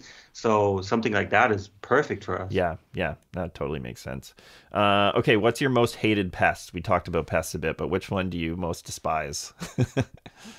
which one do I most uh, hate? or maybe mm. is the hardest to eradicate, in your opinion? Mm. The small gammarids. Um, what are the? Uh, it's like a pod basically. Um, it looks it's more food for corals. Um, but what happens in farms? They tend to build their nests right at the bases of acroporas. It's not a pest per se, mm-hmm. but um, they build their nests and it's really sticky, so flow doesn't get it away. So what happens is that the acropora dies from the base because that pod build its base there. Yeah, I think I have seen this. Are they like an amphipod or? Yeah, yeah. Um, I think amphipod is right. Yeah. So yeah, I had those at one point, and they they're not like yeah, they're not necessarily a parasite, but no, it's they're just like a, a type of amphipod, and they make kind of like a little like kind of cocoon almost at the base of the coral. Exactly. And it's a little bit slimy yeah. cocoon with detritus.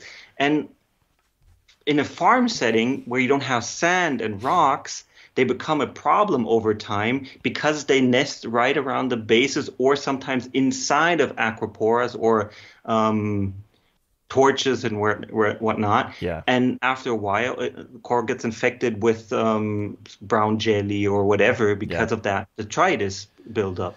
Yeah, no, those are a weird one, but I'm sure probably the interceptor type treatments could. could Yeah, that works them, perfectly. But, uh, yeah, for yeah. us as well. As I said, for us, a bit of a problem.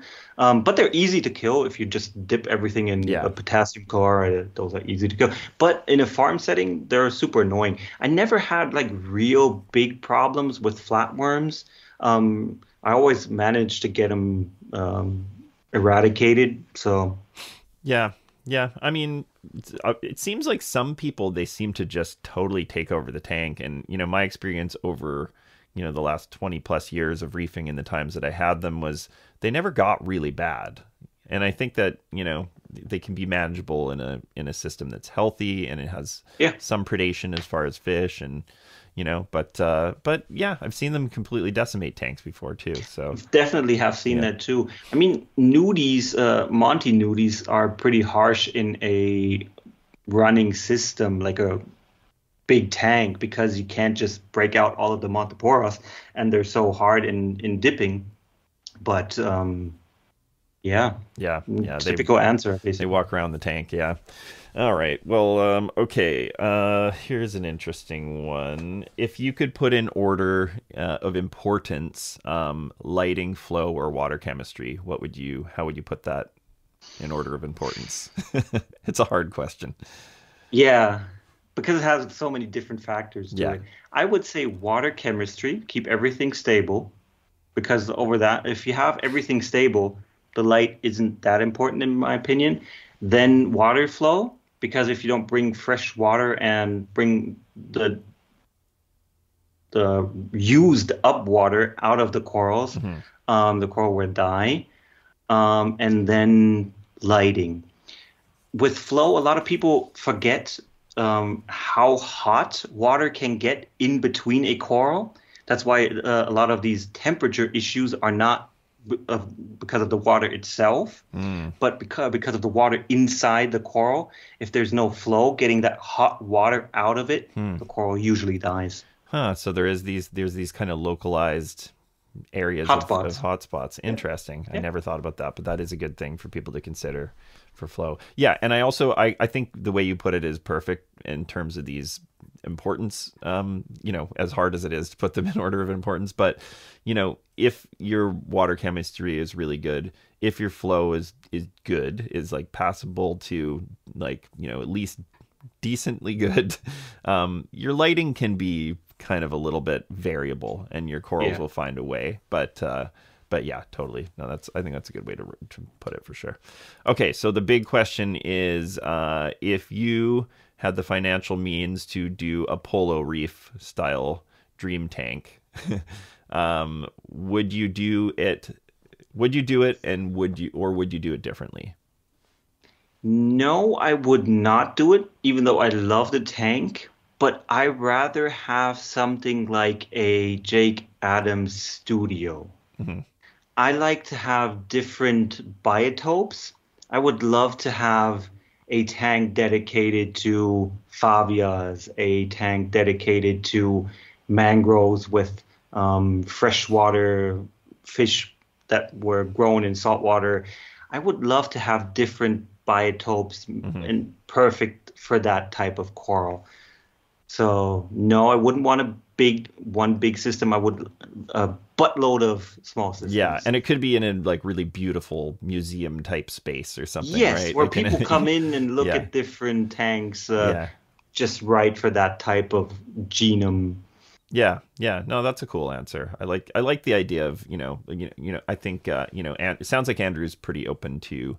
Um, you know, having guests over, although I'm sure it gets annoying having people asking, but uh, but you know, yeah, I mean that would be a thing for me too. Is like I would feel guilty keeping something like that to myself. You know, I would want. Yeah, to yeah, yeah. And obviously his no, but, system, but his system's a on. lot of systems. Yeah, and also, I mean, they're all very much in social media and shared Yeah. around, so, so people get to people get to experience and really get inspired by them. So I think I think it's a great thing for the hobby.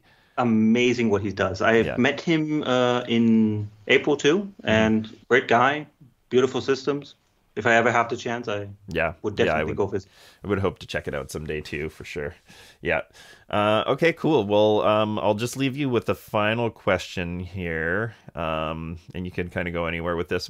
You you were just at Interzoo, and I'm I'm just kind of curious, like, what are you excited about right now? That's kind of on the horizon for the hobby. You know, whether it be a product or, um, you know, some something that's kind of you know developing. I'm more on the gloomy side, to be honest. When the Interzoo, I didn't see as a. I mean, I'm a reefer at heart. I mean, I've worked for different companies and been in the industry for 13 years now, and I didn't see any big innovation. Mm-hmm. Um, and it felt basically that everybody's doing everything now.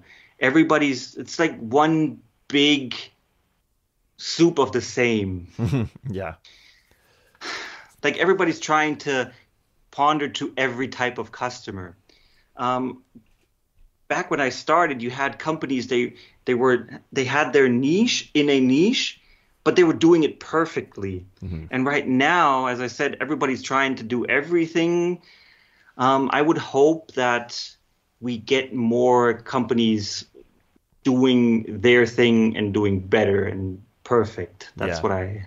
Yeah, no, that's a good point. I mean, and like we were talking about with that question about if you could use one product line, it's like, you know, there's no brand that makes the best of all of those things. There's True. always one that's still, you know, I still think there's certain things that Zeovit makes that oh, they make the best of that thing, yeah. and it it's the most mysterious one too, but it's you know one of the best ones. I mean, there's some great products they make. So, um, but yeah, I mean, uh, okay, so on the industry side.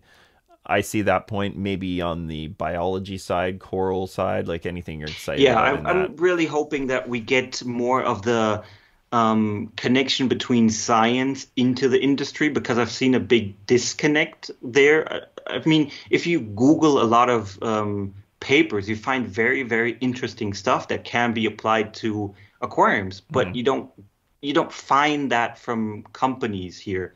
So I, I really hope that we get more of the science and industry connection. Mm-hmm. Um, Salem is very from Reef Builders is trying to do that very big. Um, I'm trying to connect with Dr. Nietzsche because he's doing more, trying to bring his what he found out more into um, the commercial side. So I think that's where I'm hopeful to yeah. to be.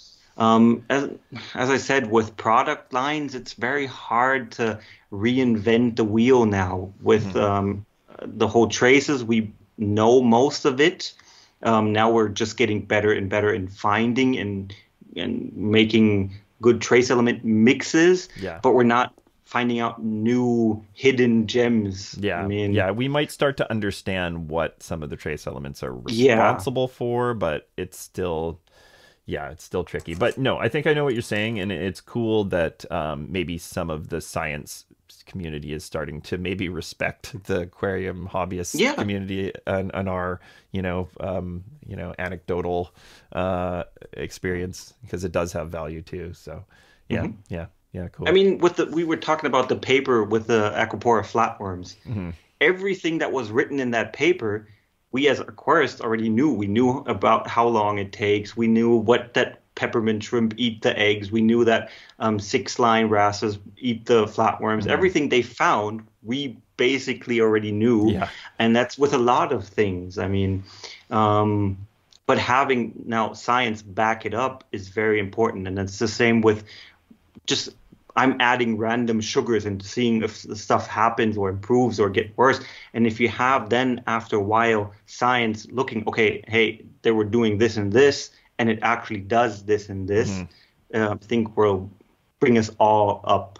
Yeah, definitely. Yeah, cool. Well, that's a good note to leave on. I didn't want to leave on the gloomy note. So, um, but I want to say uh, I really like your inspiration to develop and, and research and try stuff. And, and I, I can't wait to see what you kind of figure out over the next, you know, few years and, and what you can bring to the hobby. So good stuff. Thank you.